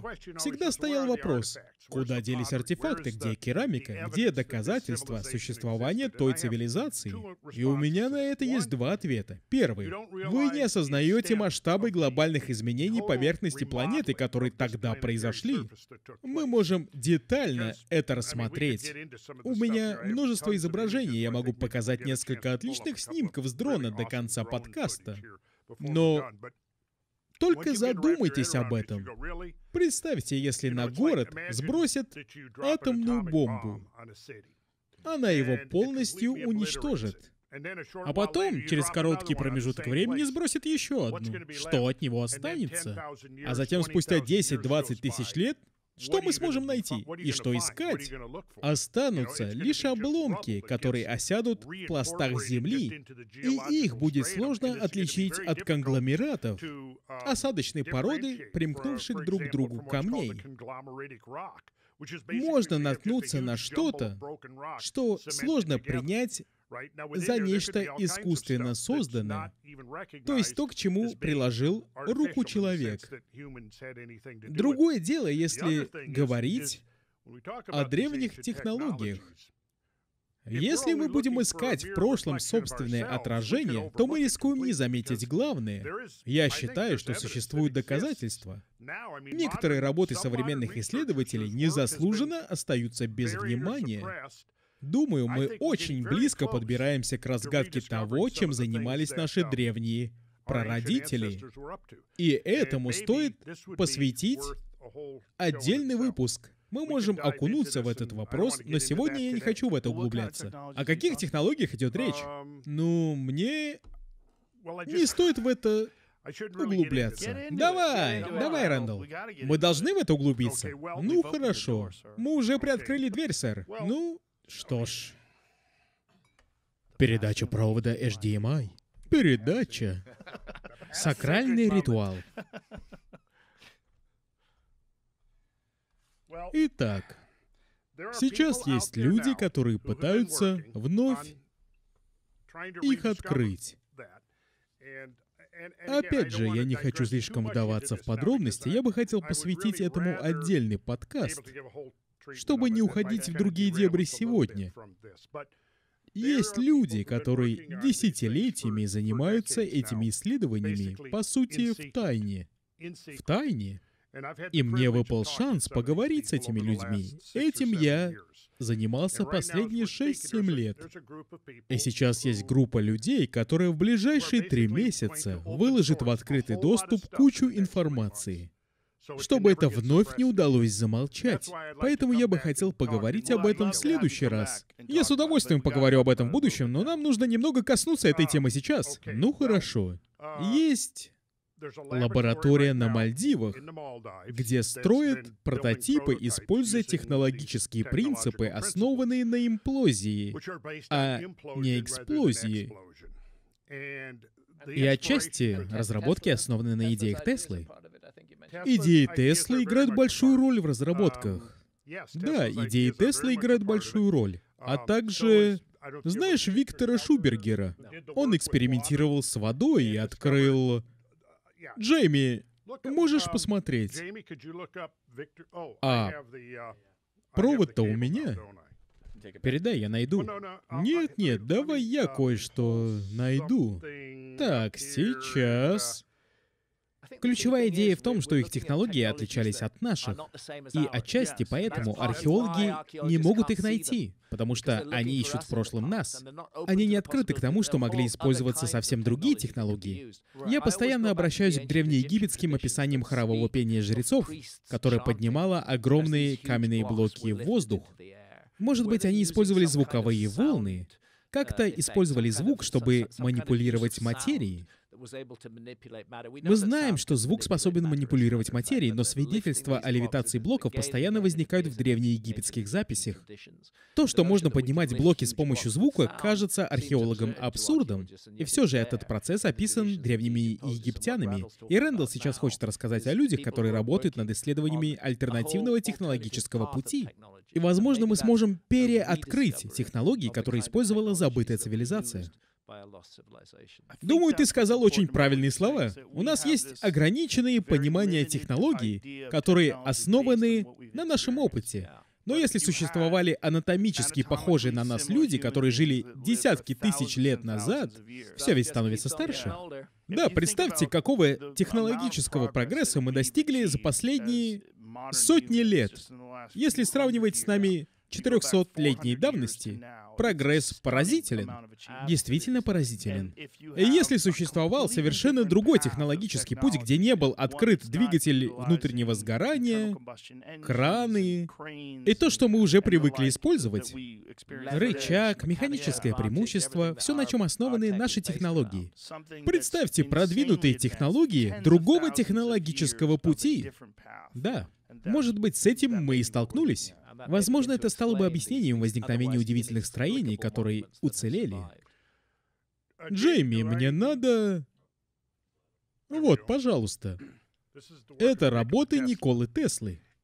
Опять же, не будем слишком углубляться сегодня. Этому стоит посвятить отдельный выпуск. Разговору об этом. Этим вдохновлялись... Ты ведь знаешь, что его деятельность подавлялась. Правительство США забрало множество его патентов и сейчас их хранит у себя. Зачем, я не знаю. Но некоторые его разработки сейчас находят развитие. его идеи находят свое воплощение, и идеи других тоже. С этим человеком я веду диалог уже несколько лет. Малкольм Бендел? Да. Опять же, я не хочу вдаваться в подробности сегодня, но вот пример их разработок. Генератор, в котором нет движущихся деталей. Он основан на принципах геометрии. Чистая геометрия. И я расскажу о фундаментальной идее, которую сейчас развивают. Резонансная частота и колебания. Допустим, взять электрическую бритву. Мы засовываем вилку в розетку, включаем бритву и кладем на стол. Она будет двигаться по кругу. Представляешь себе? Это простой пример концепта. У всего есть своя частота колебаний. И если подобрать нужную частоту, можно управлять телами. Думаю, это и есть базовый принцип технологий. Все основано на древних числах. Они занимаются разработками данных технологий и делают это довольно давно.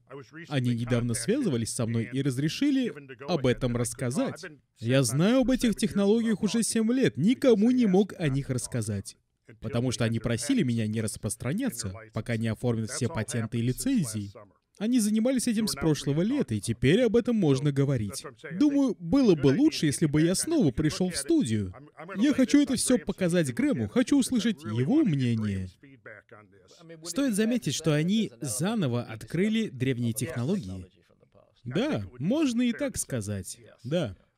То есть каким-то образом с помощью данной технологии они могли передвигать блоки, разрезать их или и то, и то, и то, и то. И даже перевозить их? А это что? Это модель. Диаграмма частот всех элементов.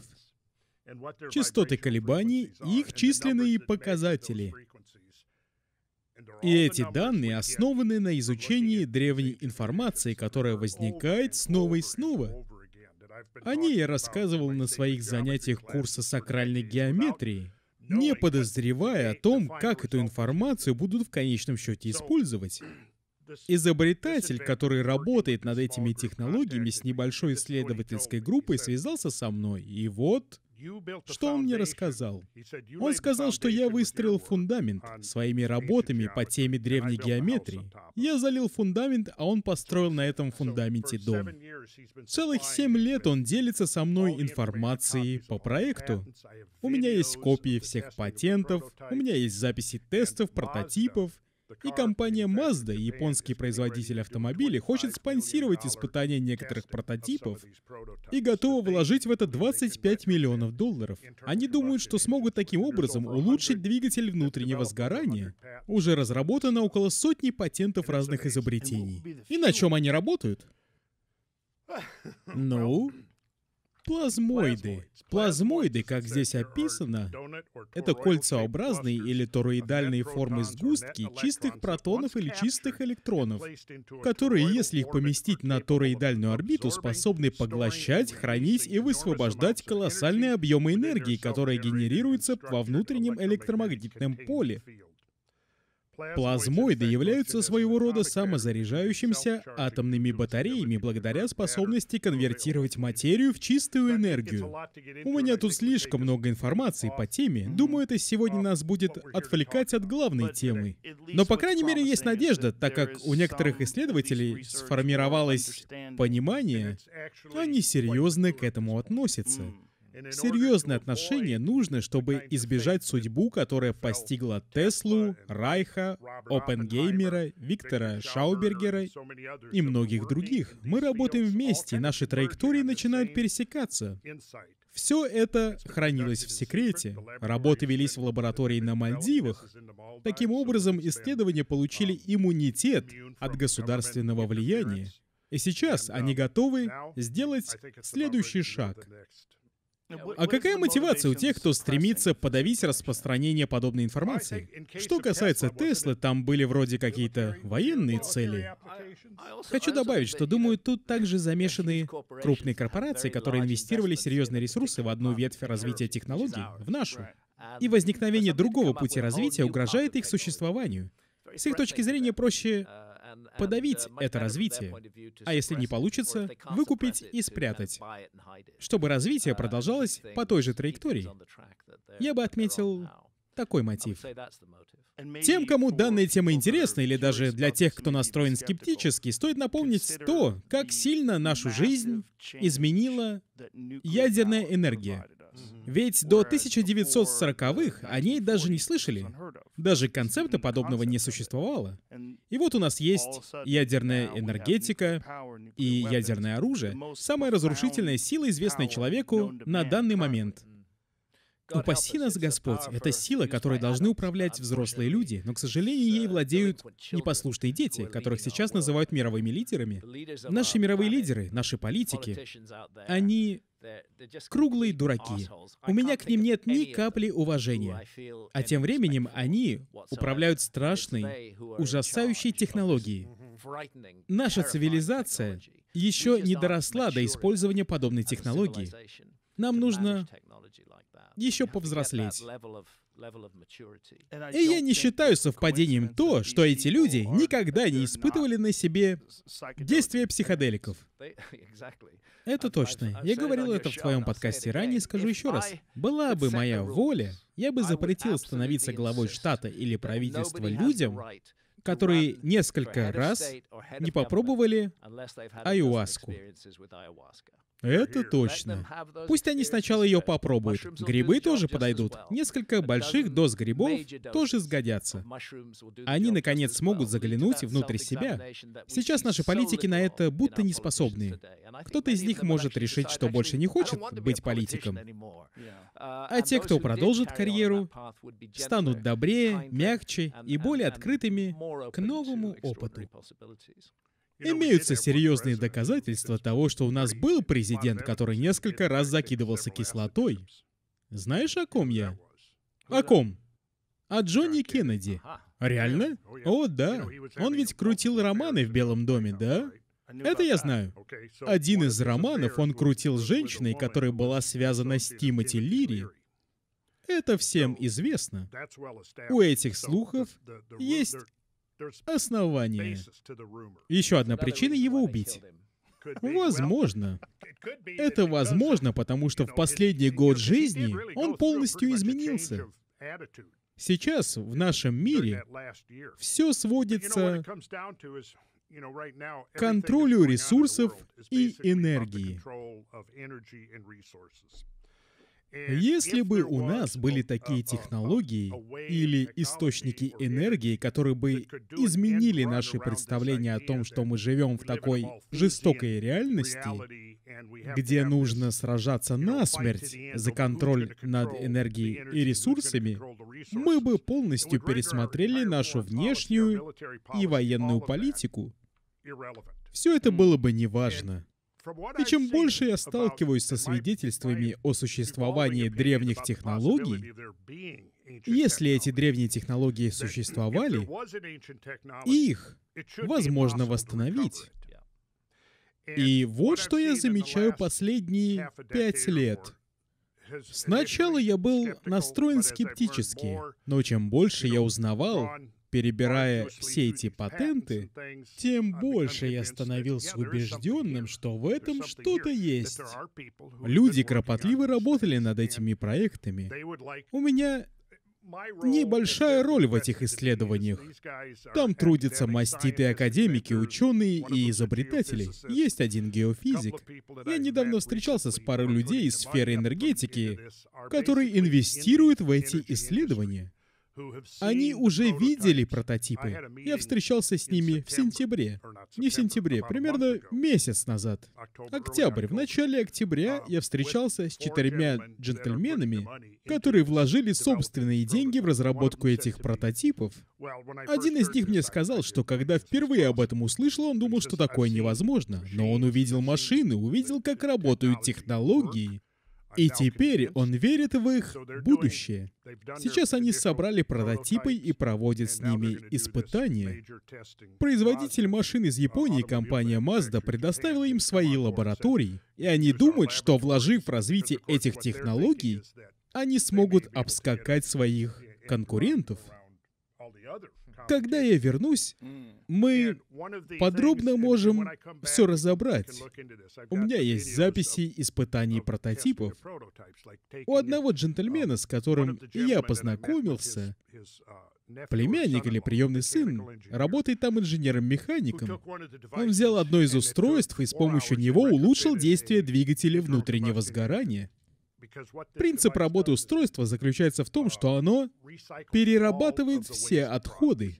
Тепловые отходы, выхлопные газы, все отходы деятельности двигателя собираются и перерабатываются обратно в энергию. Первые испытания показали повышение эффективности двигателя внутреннего сгорания с 30% до 80%. А ведь это лишь первые прототипы. Я могу прийти к тебе на подкаст, мы посмотрим записи. Я могу показать тебе все. В течение нескольких месяцев они все это обнародуют, расскажут об этом всему миру. Они ищут способы распространения этой информации, так как Малкольм, изобретатель которого ты видел, говорит, что это его наследие. Он хочет, чтобы мир владел этими технологиями. Да, говори. Я хотел обратить внимание, что им пришлось это держать в секрете до этого момента. В первую очередь из-за природы мира, в котором мы живем. Я бы сказал, что мы живем в системе с строгим контролем, которая придумала хитрые способы получения контроля над мыслями людей. Но молодое поколение начинает освобождаться из-под этого контроля. И хочу добавить, что археология играет довольно интересную роль в данной системе контроля. Если археологи могут убедить нас, что мы — конечный продукт длительного постоянного процесса эволюции, в котором мы являемся вершиной и финальным творением, то это объясняет все остальные происходящие в нашем мире процессы. Можете показать на секунду ролик под названием «Враг номер один»? Мы это сделаем, но считаешь ли ты, что они работают со всеми в сговоре, или они защищают свои собственные интересы, которые, похоже, совпадают с интересами текущей системы? В первую очередь их заботят собственные интересы. И их личный интерес в том, чтобы интерпретировать историю так, как они это делали многие годы ранее. Да, не думаю, что сейчас есть много археологов, которые намеренно публично врут. Не думаю, что дела обстоят так. Они просто эгоисты. Они, как и все. Вы чересчур увлекаетесь одной теорией, она становится для вас экзистенциально важной. Становится частью вашей личности. Это часть вашей личности. И ваши знания вас определяют. Знания определяют вас, и когда нечто угрожает им, первой реакцией является самооборона. Вам нужно обороняться от захватчиков, которые вам угрожают, так или иначе. Я не думаю, что существует какой-то расчетливый заговор. Но я считаю, что некоторые силы используют это в своих целях. Я не хочу сейчас поднимать тему ковида и вакцин. Я многого в этой теме не знаю. Но я уверен, что проблема ковида и вакцин была использована правительственными органами. Они это использовали, чтобы культивировать и распространить культуру послушания среди населения, чтобы мы автоматически на все говорили «да», и это воплощение борьбы с человеческой индивидуальностью и тем, что люди хотят думать своей головой. Поэтому, как я и сказал, мы живем во времена сдвига парадигмы. Мы находимся в постоянной борьбе. Одна из противоборствующих сторон победит, но я верю, что силы добра одержат верх. Способность мыслить открыто и независимо, что присуще нашему молодому поколению, одержит верх в долгосрочной перспективе. Что там за ролик под названием «Враг номер один»? Будем передавать священный HDMI-провод? Опять же, это просто... просто... В самом начале моей деятельности я был озадачен реакцией археологов. Почему они меня так ненавидят? Чем я их так разозлил? Ну ты белая ворона? Видимо, видимо, я и стал, просто потому что я представляю другую точку зрения. Вот еще один отрывок из передачи «Древний апокалипсис». Эти идеи расстраивают так называемых экспертов, которые настаивают на том, что люди, жившие во времена ледникового периода, были простыми охотниками-собирателями. Таким образом, автоматически я стал врагом номер один всех археологов. Скажем так, мы не знаем ответов. Это настоящая загадка. Моя работа — представлять альтернативную точку зрения. Возможно, существуют забытые страницы человеческой истории. Но еще возможно, что самовлюбленная и напыщенная позиция традиционных академиков мешает нам рассматривать некоторые возможности. Я хочу перевернуть парадигму истории. У, драматичненько. Очень драматично. Мне посчастливилось поработать с первоклассной командой операторов в процессе съемок передачи. Кстати, о ковиде. Господи, как тяжело снимать 8 серий передачи, когда мир полностью закрыт. Сколько мы просидели в карантине в таких местах, как Индонезия, чтобы все снять. Но мы совсем справились, и у нас получилось. Я надеюсь, что благодаря передаче что-нибудь изменится. Я лишь хочу быть частью движения, которое рассматривает альтернативные источники информации и показывать это людям, которые устали от того, что им постоянно указывают так называемые эксперты. Я уверен, что она способна вдохновить людей мыслить по-другому. Зная о существовании потенциальных технологий, которые мы обсуждаем в подкасте, возможно ли воссоздать эти технологии из металла? Эти двигатели с э, альтернативными технологиями. Если это возможно, мы ведь могли бы найти их следы. Думаю, мы должны быть открыты к разного рода вероятности. Да, именно. У меня есть спорная гипотеза, которую не разделяют археологи. Я считаю, что у человека есть латентные способности, которые мы не используем. Не знаю, приглашал ли ты Руперта Шелдрейка в свое шоу. Руперт долгое время изучал телепатию с научной точки зрения. Ведь интересно, откуда собака знает, что хозяин идет домой. Он провел серию контролируемых испытаний, во время которых хозяин приходил домой в случайное время. Но собака всегда знала, что он идет. Между ними существовала некая телепатическая связь. Руперт Шелдрейк продемонстрировал, что телепатия существует. Бывает, мы подумаем о ком-то, и вдруг звонит телефон, и этот человек на экране. Руперт проделал подробное статистическое исследование на эту тему. И есть большая вероятность, что люди владеют способностью, которая в нашем обществе считается чем-то несуществующим. Или как насчет телекинеза? Способность передвигать предмет на расстоянии. Это что-то из разряда истории Стивена Кинга. Но, возможно, мы на это способны. Опять же, наше общество вложило все силы в развитие технологии рычага и механического преимущества и двигалось по одной технологической ветке. И наши потенциальные латентные способности канули в лету и больше не используются. До такой степени, что сама мысль об этом нас смешит. Когда я упоминаю телепатию или телекинез, я не утверждаю, что все это существует. Я лишь говорю, что мы должны быть ко всему открыты. Что если древние цивилизации использовали эти скрытые человеческие способности который мы забыли, как использовать. Естественно, мы не найдем никаких физических доказательств данных явлений. Мы найдем лишь результаты их работы. Как крыша царской палаты Великой пирамиды, состоящая из 70-тонных блоков, поднятых на высоту в сотню метров. Это невозможно объяснить в парадигме технологии рычага и механического преимущества. Но, возможно, стоит искать другое объяснение. А еще они крайне умело передвигали гигантские объекты. Поэтому ты невольно начинаешь задумываться, даже если мы будем использовать официальную версию, что все это происходило в 2500 году до нашей эры, как это им удалось? Как? Какие у них были инструменты?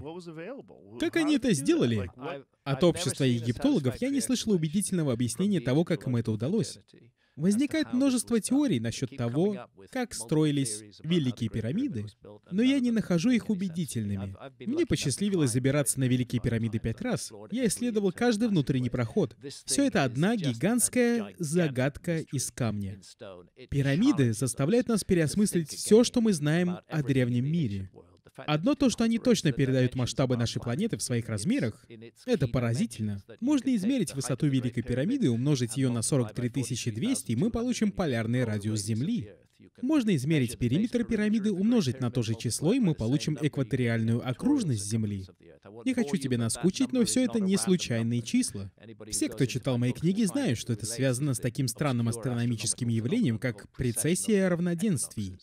Великие пирамиды почти точно указывают на север с погрешностью в одну шестидесятую градуса. Площадь 13 акров, вес 5 миллионов тонн, высота 146 метров и с дотошной точностью указывает на север. Думаю, что в них зашифровано послание. Пирамиды имеют контакт с нашей планетой, с Землей. Она указывает на север, и ее пропорции совпадают с пропорциями самой Земли. Все сделано очень умно. Опять же, я приводил эти аргументы археологам, а они отвечали, что это всего лишь совпадение. Все это чушь. Так они говорили. Крайне ленивый подход отмахиваться от подобных данных, вместо того, чтобы приглядеться к этим данным и задаться вопросом, совпадение ли это, или за ними что-то скрыто. Есть ключевые данные, которые встречаются постоянно. Мы находим их в Ведах, в Библии, в традициях культуры майя. Они встречаются в Самарии вновь и вновь. Одно из ключевых чисел — 43 200. Это связано с тем, как мы до сих пор измеряем время. Если задуматься, как мы измеряем длину орбиты, длительность одного вращения Земли вокруг своей оси, меридиан проходит через центр Солнца. Мы измеряем его в секундах, так? В минутах и часах. Вращение Земли относительно Солнца составляет 24 часа. Хорошо, 24 часа умножаем на 60 и потом еще раз на 60. 86 400 секунд. Именно столько длится данный процесс. В момент процессии равноденствия световой и темный период равны и составляют 43 200. Это число является коэффициентом масштабирования пирамид. Если взять современную пирамиду Гизы и увеличить ее в 43 200 раз, ее высота будет с небольшой погрешностью равна полярному радиусу Земли. К тому же эта погрешность не больше погрешности, которую могут допустить современные спутниковые системы. И когда я вернусь, я могу тебе это легко продемонстрировать. Мы это сделаем. У меня есть слайды, где конкретно показано, как это вычисляется. Геометрия высоты, отношение высоты к квадратному основанию является решением древней проблемы квадратуры круга. По сути, они вот чего добились. Если увеличить пирамиду в 43 200 раз, ее квадратное основание равно экваториальной окружности Земли. В точности. И если кто-то говорит, что это лишь совпадение, то можно допустить это один раз. Может, два, но существует масса подобных примеров, которые демонстрируют, что каким-то образом кто-то владел знаниями, превышающими тот багаж знаний, который мы приписываем тем людям. Они не могли владеть подобными знаниями во времена, когда по официальной версии возводились эти строения. Великие пирамиды и множество других архитектурных памятников находятся у нас на виду и своим существованием дают нам оплеуху. Они являются доказательствами потерянных технологий, и этому сильно сопротивляются. Традиционные академики над этим насмехаются, поэтому мне не нравится археология. Они насмехаются над альтернативными точками зрения. Информацию о том, что я принимал психоделики, постоянно используют против меня мои критики. О, да, Хэнкок наркоман. Его не стоит слушать. Я это детям говорю. Простите. Это ленивый способ борьбы с альтернативными аргументами. Оскорбление. Да, это глупости. Еще вопрос, что им не нравится в этих наркотиках и почему они против них. Да. Да, меня поражает вероятность существования древних технологий. И мне интересно, в какой форме они могут существовать. Если у них были продвинутые способы вычисления, как ты описывал, и они все делали с подобной точностью, их существование практически неоспоримо. Вероятность совпадения уменьшается. Наиболее вероятны точные вычисления. Да, совершенно верно. И ленивое отрицание продолжает держать людей в рамках определенного мышления. И с этим мы пытаемся бороться. Мы борцы. Мы идем с ними в разрез. И нашему миру нужны люди, способные идти всему наперекор. Несмотря на оскорбления, которые получаю я, несмотря на оскорбления в адрес Рэндалла, информация, которую мы распространяем, рано или поздно даст свои плоды. Как давно могли появиться подобные технологии? Я не отпускаю эту тему, потому что хочу понять, о каких масштабах мы говорим. Насколько давно могла возникнуть продвинутая человеческая цивилизация? Традиционная история говорит нам о шумерах 6 тысяч лет назад, Месопотамия 6 с лишним тысяч. О каких исторических рамках мы говорим? Во-первых, я не могу дать тебе точные факты. Я развиваю свои гипотезы о древней истории. Я думаю, что цивилизация глубоко уходит корнями в ледниковый период. Возможно, мы говорим о сотне тысяч лет в прошлом. Возможно, та цивилизация выросла из общества охотников-собирателей и культуры шаманизма. Сейчас в джунглях Амазонки можно встретить шаманов, которые используют айуаску. Аюаска — это чудо само по себе. В Амазонке существуют сотни тысяч растений, но лишь два из них вместе образуют собой аюаску. Одно из них содержит DMT, а другое содержит ингибитор моноаминоксидаза. DMT не активируется, если принимать его в пищу, поэтому его курят. Но в Амазонке делают переоральную субстанцию, состоящую из лозы аюаски, которая содержит в себе ингибитор моноаминоксидаза. Он отключает ферменты пищеварения, что позволяет поглощать DMT и направлять его в мозг. Все это научные данные.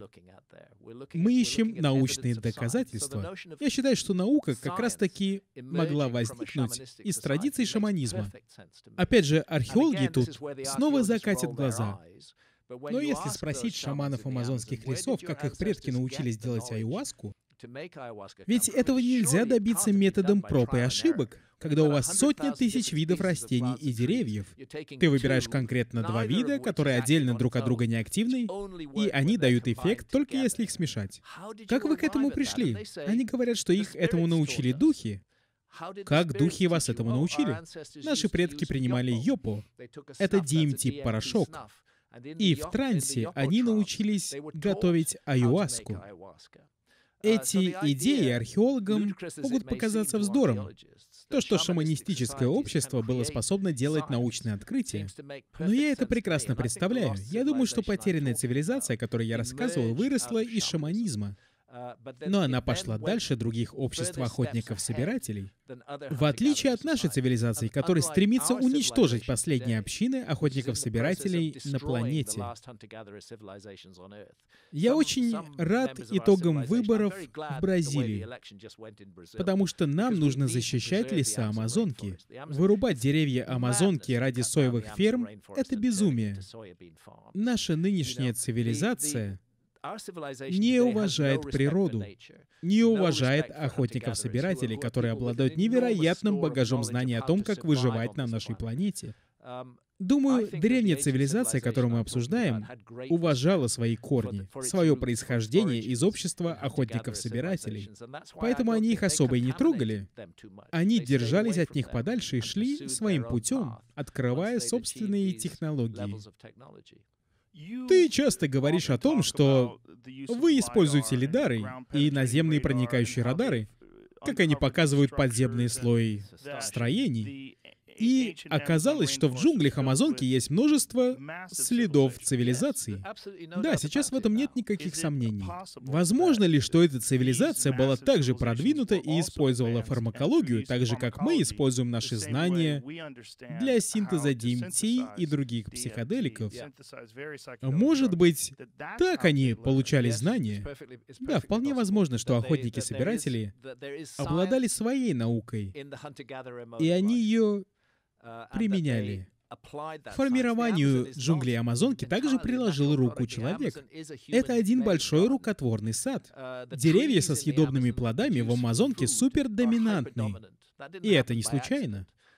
Это результат деятельности человека. Они создали до сих пор нами непостижимую террапрета, черную землю. Это крайне плодородная земля, которая репродуцирует питательные вещества с помощью бактерий в почве. В Амазонке до сих пор встречаются участки терры преты. Поселенцы Амазонки искали их, чтобы сажать на них растения. Это еще одно научное достижение. Сейчас мы находим доказательства того, что в Амазонке существовали города, где население превышало сотню тысяч человек. Жизнь там полностью отличалась от наших прошлых представлений. Раньше леса занимали площадь в 7 миллионов квадратных километров. 2 миллиона из них вырубила наша хищная, недальновидная, идиотская цивилизация. Но 5 миллионов квадратных километров еще остались, и мы обнаружили лишь намеки на то, что под ними скрывается, благодаря лидарам и их технологии измерения состояния путем излучения света. Таким образом, ты можешь пролетать над участком джунглей и увидеть, что скрывается под ними, не нанося им вред. И под ними находятся гигантские геометрические строения, огромные квадраты, круги, круги, вписанные в квадраты, невероятные конструкции, которые не могли создать охотники-собиратели. И все же их следы мы находим в Амазонке. Мне выдалась возможность вот это последние снимки. Я как-то встречался с парочкой миллиардеров, и я им говорил, если хотите, чтобы ваши деньги принесли пользу, вложите их в систему наблюдения за Амазонкой с помощью лидаров, потому что сейчас лишь малая их часть под контролем Bразилии находится под наблюдением с помощью лидаров. И какие это дает результаты? Они даже Пирамиды находят в Амазонке. И после обнаружения археологи могут поехать и посмотреть на них. Вложите деньги в хорошую систему наблюдения за всей территорией Амазонки с помощью лидаров. Это может перевернуть все наши представления о прошлом человечества. И возвращаясь к моему аргументу, Амазонка — это территория в 5 миллионов квадратных километров, которую практически не изучали. 27 миллионов километров — площадь подводных континентальных шельфов, которую практически не изучали. 9 миллионов километров пустыни Сахары практически не изучали. И все же археологи утверждают, утверждают, что точно знают нашу древнюю историю. Это чушь. Они не могут так говорить, пока огромная часть нашей планеты остается нетронутой археологией. И почему она не тронута? Отчасти потому, что это дорого — заниматься археологией в Сахаре или Амазонке. А отчасти потому, что археологи убеждены в том, что там ничего не найдут. Но лидары разрушают этот миф. Они демонстрируют, что в Амазонке можно кое-что найти. И я бы посоветовал какому-нибудь сердобольному миллиардеру, который хочет увидеть реальные изменения в нашем понимании прошлого, положить деньги в лидарную систему наблюдения. Я знаю несколько археологов, которые работают с этими технологиями. К примеру, Мартина Партинсона. Они делают важную работу, но у них крошечный бюджет. Им нужно больше финансирования, чтобы они смогли наблюдать за Амазонкой. И если мы сможем понаблюдать за Амазонкой, это может радикально изменить наше представление о древней истории. Одна из проблем заключается в том, что археология и геология зацикливаются на определенных местах. У нас есть археологи, которые десятки лет посвящают одному археологическому памятнику. Очевидно, что о нем они будут знать больше, чем кто-либо, с большим отрывом. Но им не хватает... Та же история с геологами. Некоторые геологи годами изучают одни и те же места, одну горную породу. Изучают ее метрологию, петрографию, осадочную последовательность, возраст. Об одном месте они могут рассказать все, но они упускают главное — интеграцию знаний о разных частях в единую картину. И здесь найдется место для специалистов, которые не так подробно изучали мельчайшие детали, но способны создать единую модель, которая свяжет все знания воедино в единую картину, обширную панораму. Я вспоминаю Элла Гудьира. Расскажи о нем. История про Топер. Про Топер. Ну, Эл работал археологом. И долгое время в археологии была жесткая догма. Настоящая догма которая гласила, что в Америке люди впервые появились 13 тысяч лет назад. Скажем, 13 тысяч 400 лет назад. Они называли это культура Кловис. Догма называлась «Кловис были первыми». До культуры Кловис людей тут не было. Эл изучал археологический памятник под названием Топер. Искал следы культуры Кловис, а затем он сделал то, на что не осмеливались другие археологи. Начал копать глубже, слоя культуры Кловис. И под этим слоем, а его спрашивали, что под ним? А что под ним? А под ним он нашел еще больше останков людей, которые датируются десятками тысяч лет ранее культуры Кловис. Это 50 тысяч лет назад. Как множество других археологов, которые находили доказательства, оспаривающие эту догму, его начали сторониться. А что он там обнаружил? Доказательства присутствия людей в Америке. Артефакты. Артефакты, объекты, созданные 50 тысяч лет назад. Я не говорю, что эти артефакты принадлежали продвинутой цивилизации. Лишь доказательство того, что люди там были. Но существовала догма, которая гласила, что первые люди появились в Америке 13 тысяч лет назад. Американская археология застряла в развитии из-за этой догмы на лет 40-50. И такие археологи, как Жак Синкмарс, который обнаружил доказательства существования человека в пещере Бульфиш, датированной 24 тысячами лет назад, назад, такие археологи из-за этого пострадали. Они были обделены исследовательскими грантами, их не приглашали на конференции, коллеги над ними насмехались, но время показало, что они были правы. И это очень важная проблема. Когда я набирал материал для книги «Древняя Америка», я поехал в Сан-Диего, чтобы побеседовать с командой, которая занималась исследованием памятника мастодонта Чарути. Они думают, что люди жили в Америке 130 тысяч лет назад. Не 13 тысяч лет, а 130 тысяч лет назад. Это большой промежуток времени для потенциального развития культуры в Америке. В Южной Америке нашли генетическую связь между некоторыми племенами Амазонки и жителями Меланезии в Папуа-Новой Гвинеи. И этой связи нет у жителей в Северной Америке. Опять же, существует догма, что люди пересекли Берингов пролив, когда там был мост на севере, и они через Северную Америку добрались до Южной. Возможно, все с точностью да наоборот. Люди пересекли океан десятки тысяч лет назад, сначала остановились в Южной Америке, а затем мигрировали на север. И эти идеи не принимаются. Но постепенно происходит процесс сдвига парадигмы. По мере возникновения новых доказательств становится все более абсурдно не отпускать старые представления об истории. Если 130 тысяч лет назад в Америке жили люди, то вполне возможно, что продвинутая цивилизация существовала прямо здесь, в Америке, в Северной Америке и Южной Америке. И если древняя цивилизация проживала в местах, которые мы сейчас называем называем канализированными скэбландами, от них не осталось бы ни следа. Из-за разрушительного действия потопа, который разорвал эти места на части во времена позднего Дриаса. Превалирует теория, что цивилизация Амазонки вымерла из-за болезней. И эта превалирующая теория верна. Был такой испанский путешественник Франциско де Арельяно. Ему случайно удалось проплыть по всей длине Амазонки через всю Южную Америку в 1560-х. Я говорю случайно, потому что он плыл с двадцатью другими парнями, и они хотели поохотиться. Они плыли вниз по Амазонке, но обратно вернуться не смогли. Река продолжала их нести все дальше и дальше на запад, и, наконец, они смогли остановиться лишь в Колумбии. Таким образом, они оказались на Атлантическом побережье Южной Америки. По дороге они видели гигантские города. Они замечали следы продвинутой цивилизации Амазонки. Он об этом писал, но ему не поверили. Все думали, что он это придумал, но новые лидары подтверждают, что он был абсолютно прав. Бог его знает, что можно отыскать в Амазонке, если этим действительно заняться. То есть эти первооткрыватели всех заразили? Они были переносчиками болезней. Арельяно встречал на пути большие многолюдные места. Сотня лет спустя нет никого. Все пропали. Не из-за мушкетов и мечей, а из-за оспы. В большей степени из-за оспы и других болезней, переносчиками которых являлись жители Европы, а у местного населения не было сформированного иммунитета. Это уничтожило все местное население, практически полностью стерло их из человеческой памяти. Без сомнений, что это биологическое оружие стало причиной покорения Америки.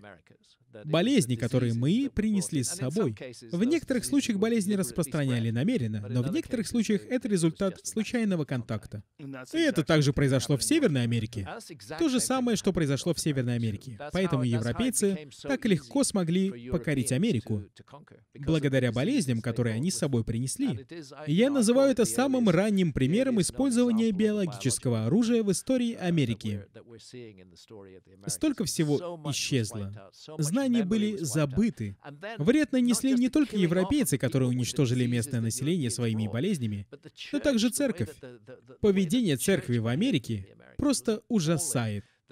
Они намеренно сжигали рукописи Майя, в одном костре были уничтожены пять тысяч книг Майя. Какой-то священник-идиот все взял и сжег. С какой стати он решил стереть историю человечества с лица Земли? Что мы могли найти в этих манускриптах, если бы у нас была возможность их увидеть сейчас? Если бы их не сожгли религиозные фанатики, убежденные в том, что лишь их идеи верны, а все остальные ошибаются.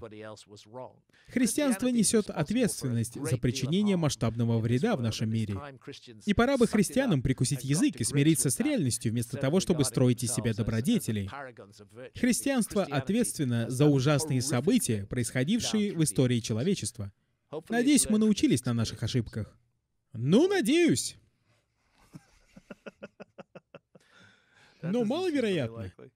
Но оно являлось инструментом уничтожения памяти человечества.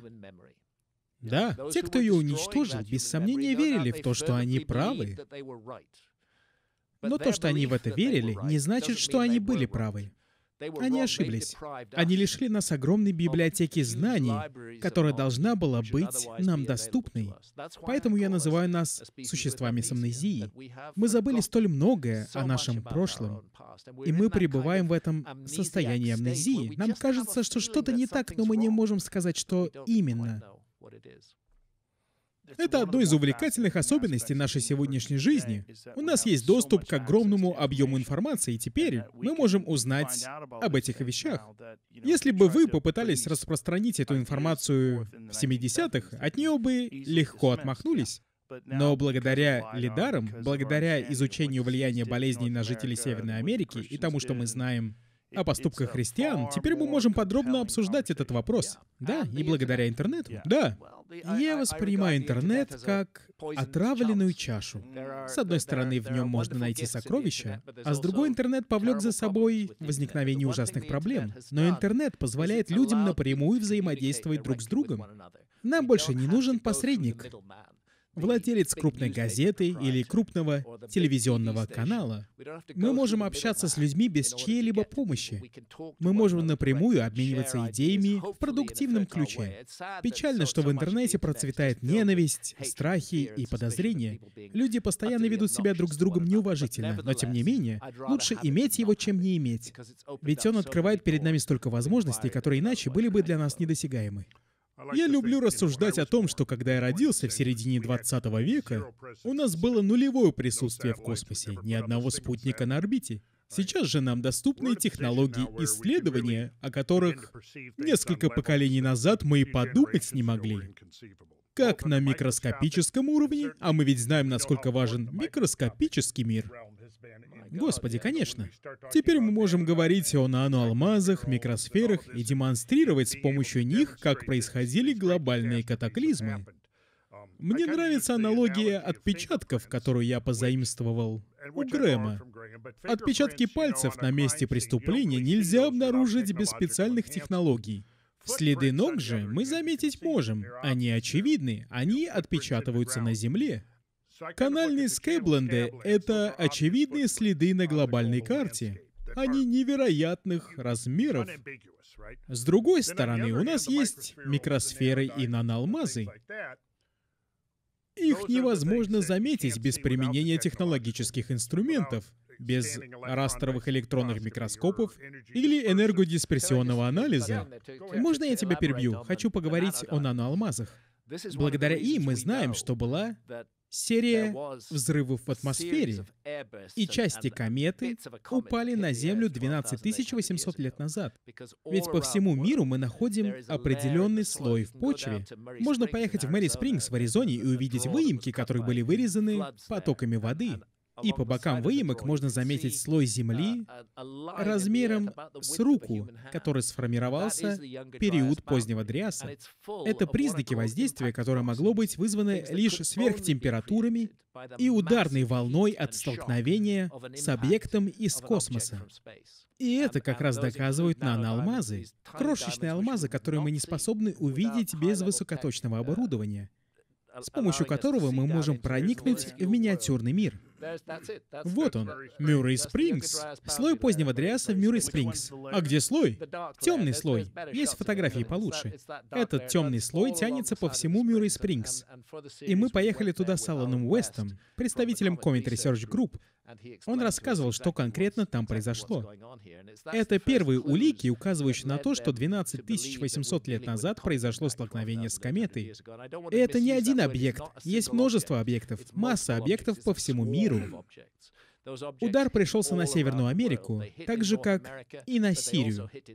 Что интересно, есть в Сирии место под названием Абу Хурейра, которое находится недалеко от Гюбекли-Тепе, куда, предположительно, упали осколки кометы после взрыва в атмосфере. Если мы обратимся к 1908 году, июню 1908, многие слышали о событии, произошедшем в Сибири. Называется падение Тунгусского метеорита. Вот что интересно, эта дата, июнь 1908 является одним из двух периодов, июнь и ноябрь, когда в том году Земля проходила через метеорный поток Тауриды. И случилось так, что объект диаметром в сотню метров взорвался в атмосфере над Сибирью. Он сравнял с Землей 2000 квадратных миль тайги. В этом месте никто не проживал, обошлось без жертв. Но если бы подобное произошло над крупным мегаполисом, это был бы настоящий катаклизм. А ведь это был лишь малый осколок, и он оставил после себя тот же след, те же наноалмазы. Еще одна интригующая деталь — расплавленный кварц. Чтобы расплавить кварц, потребуется температура, превышающая 1700 градусов. И мы очень часто находим частицы расплавленного кварца в слое позднего дриаса. Также мы находим иридий, еще один элемент, из которого состоят астероиды и кометы из далекого космоса. Доказательства множатся, доказательства находят. Ученые из Comet Research Group, как я уже говорил, недавно получили крупное финансирование. И опять же, только что я говорил о мечтах про миллиардера, который смог бы финансировать наблюдение за Амазонкой. Я также хотел бы, чтобы они финансировали исследования Comet Research Group. До этого они справлялись своими средствами, но теперь их серьезно финансируют, и скоро мы увидим большой прорыв в этой области. Неважно то, как к ним относятся другие ученые, они откопают для нас данные. Данные, вот что важно, а не чужое мнение. Данные указывают на гигантский апокалипсис всемирного масштаба, который происходил 12 800 лет назад. Джейми, можешь передать мне священный провод? Мне надо в туалет. Давайте поставим на паузу и после перерыва вернемся к подкасту. Хорошо. Мы вернулись. Вернулись? Ага. Поехали. Ага, вот оно. Я составил график, который демонстрирует метеорный поток Тауриды. Мы наблюдаем два эллипса, которые отсылают нас к работам Фреда Уипла из 40-х годов. Он первый обнаружил, что метеорный поток Тауриды возник в результате взрыва изначально гигантской кометы. Благодаря серии снимков он смог обратить их орбиты вспять. И после этого он заметил, что отдельные части потока ранее находились в одной точке. Таким образом, он понял, что когда-то они являлись частью одного объекта. Вот что у нас здесь есть. Тут у нас орбита Меркурия. Сейчас очки поправлю орбита Венеры, а третья — орбита Земли. Зеленая стрелка указывает направление орбиты. Это орбита Земли. А здесь зеленые стрелки показывают направление орбиты потока. И мы видим, как орбиты пересекаются. В конце июня, начале июля здесь, а затем снова орбиты пересекаются примерно сейчас. в конце октября, начале ноября. Поэтому тауриды иногда называют хэллоуинскими метеорами, потому что их пик приходится как раз на Хэллоуин. Так когда упал Тунгусский метеорит? 30 июня 1908 Да. Идеальный тайминг. Также идеальной была траектория падения метеорита.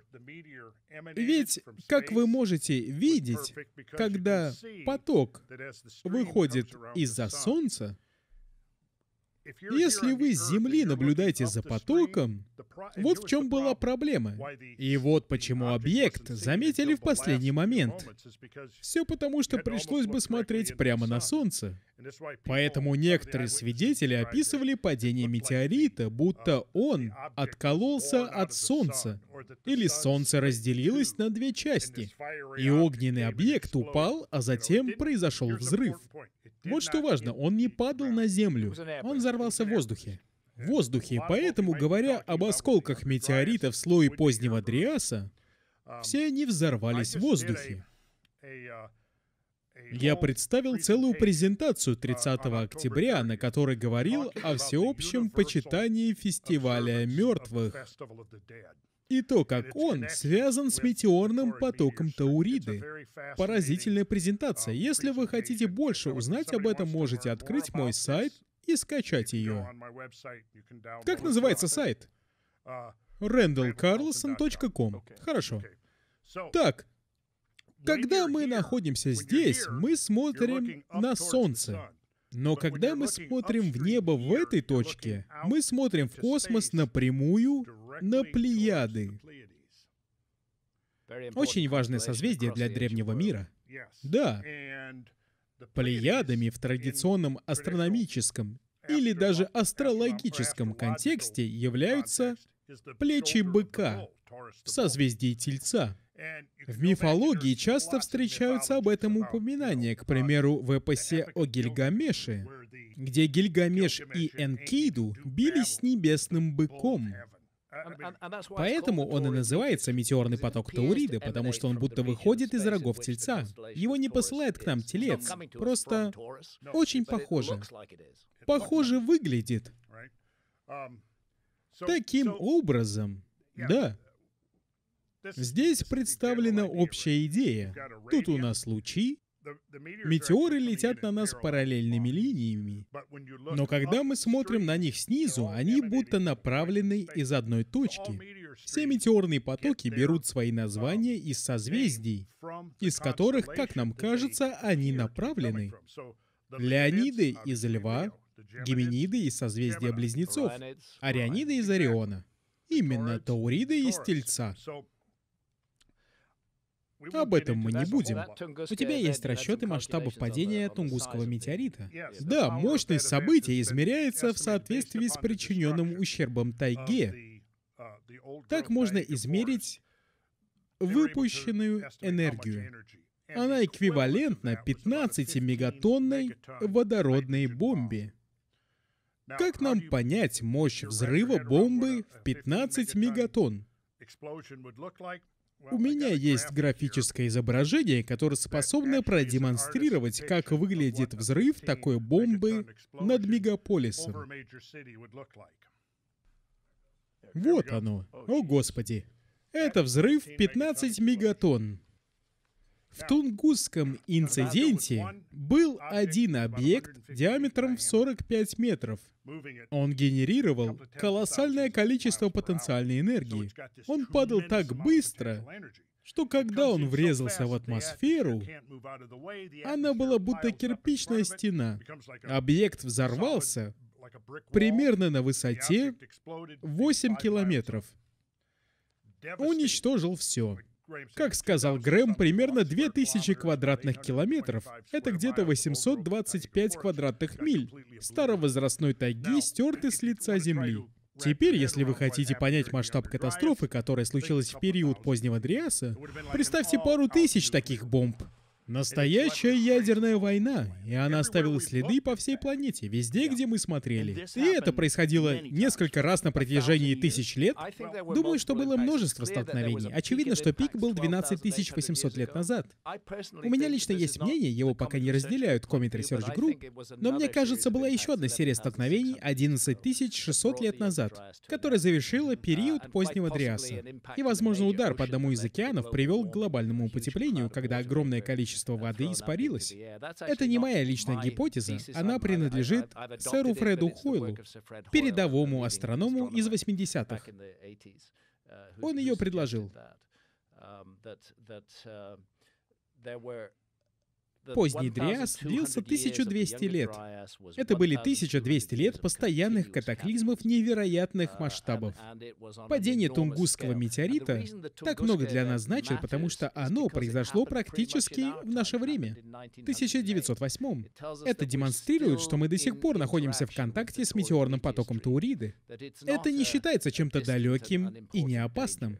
Он представляет реальную опасность. Если бы объект, который взорвался над Сибирью в 1908 взорвался над крупным мегаполисом, мы бы сейчас внимательно следили за метеорным потоком Тауриды потому что столкновение с ним несет катастрофические последствия. Но, как и сказал Рэндалл, представьте картину, которая была 12 800 лет назад. Представьте ту бомбардировку, которую испытала наша планета. На это указывают доказательства, найденные на западном побережье Америки, а также доказательства на востоке, в Сирии. Это было событие мирового масштаба. Тысячи взрывов в атмосфере, огромное количество падающих объектов. Некоторые из них попали в ледяную шапку Северной Америки, а некоторые взорвались в воздухе. Результат вполне внятно может объяснить, каким образом могла затеряться целая цивилизация. Вау!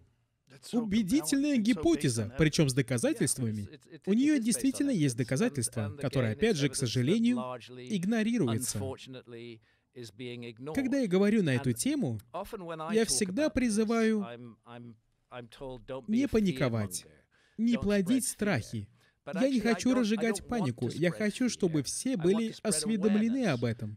Потому что мы не беспомощны. Этим и хороши наши технические возможности. Мы достигли того уровня развития, когда мы способны справляться с опасными объектами из космоса, которые контактируют с Землей. И недавно мы впервые это сделали.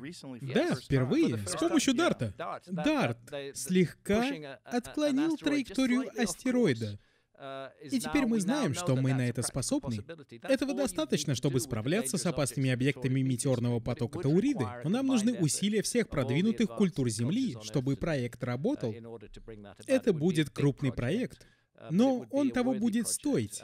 И мне на ум приходит масса бесполезных проектов, куда большие государства инвестируют сейчас. Этот же проект будет весьма полезен. Разве не лучше собраться и подумать, как нам защитить нашу планету? Когда с некоторыми людьми говоришь на эту тему, они считают, что это проблема из научной фантастики. Но буквально пару дней назад нашли новый астероид на орбите Венеры. Раньше мы его не замечали. Он просто огромный. Он не пересечется с Землей. Но помнишь, когда я в последний раз к тебе приходил? Я тогда показывал огромный список, который велся с 80-х, объектов, которые чуть в нас не попали. Это происходит каждые несколько месяцев, снова и снова. Я показывал его в прошлый раз, когда был на твоем подкасте. Они существуют. Это наша реальность. В космосе летают астероиды, у которых конечная цель — это планета Земля. На них написаны наши имена. Мы их просто не нашли. Вероятность столкновения с потенциально опасным астероидом составляет 10%. С теми, о которых мы знаем. Поэтому мы ведем разговор не только о забытой цивилизации прошлого. В перспективе возможно, что появится забытая цивилизация будущего. И если это случится с нами, сейчас проблема хранения информации заключается в том, что она записана на жестких дисках. Все пропадет. Все пропадет. Все исчезнет полностью. Еще одна проблема заключается в том, что большинство жителей продвинутых индустриальных, так называемых цивилизаций, понятия не имеет о выживании. Я знаю, что ты в курсе. Слегка. Но ты обладаешь некоторыми навыками. Но я не обладаю подобными навыками, как и большинство людей. Кого нам эвакуировать в убежище? Если наша цивилизация падет, нам придется эвакуировать охотников-собирателей. Ведь они являются мастерами выживания. Я думаю, это и произошло 12 800 лет назад с выжившими людьми из высшей цивилизации. Не люблю слово «высшее». Представители другого типа цивилизации эвакуировали охотников-собирателей и создали проекты, подобные Гюбекли-Тепе, которые использовались для обучения и притворения чего-то нового. В моей передаче две серии посвящены Турции. Одна серия посвящена Гюбекли Тепе, но Гюбекли Тепе 11 600 лет назад была не одна. Был еще один памятник архитектуры, который нам удалось впервые заснять. Он называется Карахан Тепе. Там сейчас ведутся раскопки. Он датируется тем же периодом. Это одна из самых невероятных археологических находок. Никто не знал, что он там находится еще 10 лет назад. С тех пор нашли 11 памятников архитектуры, окружающих Гюбекли Тепе. Все они находятся в поле видимости друг от друга, так как расположены на холмах. Их нашли, но еще не провели там должных раскопок. Невероятно, что все они датируются периодом в 11 600 лет назад. В другой серии нашей передачи мы исследовали подземные города Турции. Это довольно известный феномен, встречающийся в Турции. Там есть огромные города, похожие на муравьиные фермы, которые выдолбили в земле. Там Сотни комнат. Много труда было вложено в создание этих убежищ под землей. Археологи пока не могут объяснить, для чего они были нужны зачем они были построены, или когда они были построены.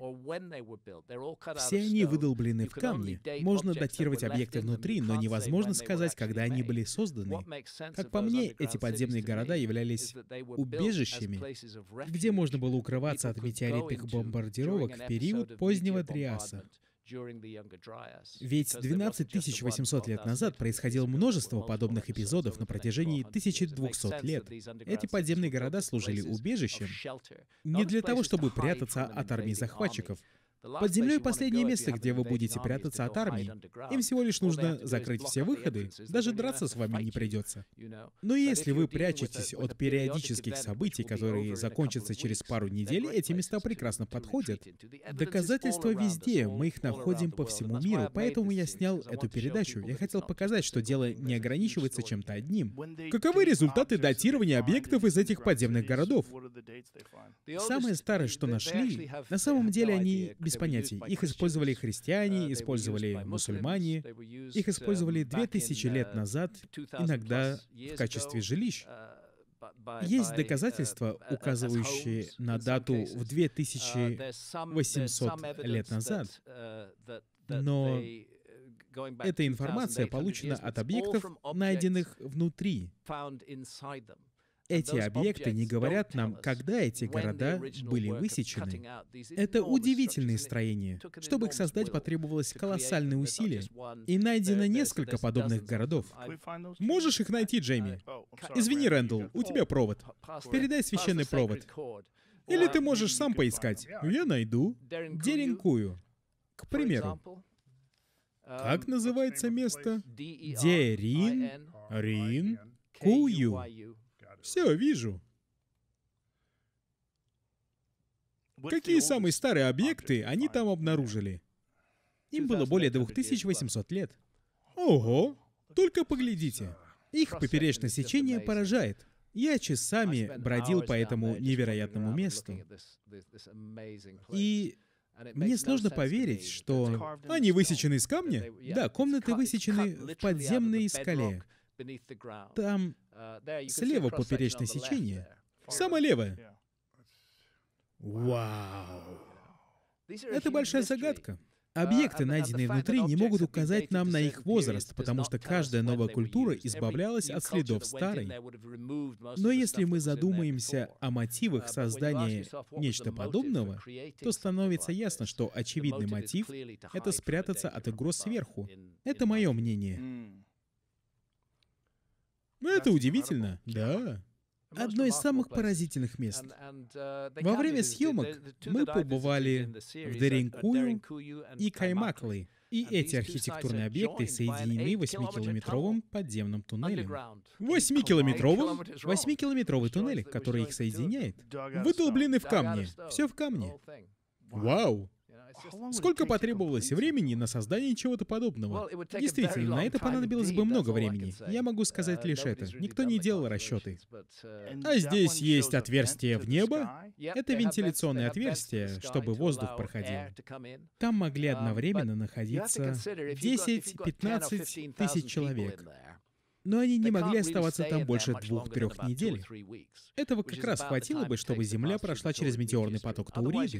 Иначе бы это место было бы более обжитым, и туда бы других людей не пускали. Но их использовали лишь две недели, а затем все возвращалось в норму. Там есть вентиляция, вода, все было продумано. Там есть источник воды внутри, или они ее запасали. Запасали там воду, да. Если копаться глубже, можно найти колодцы.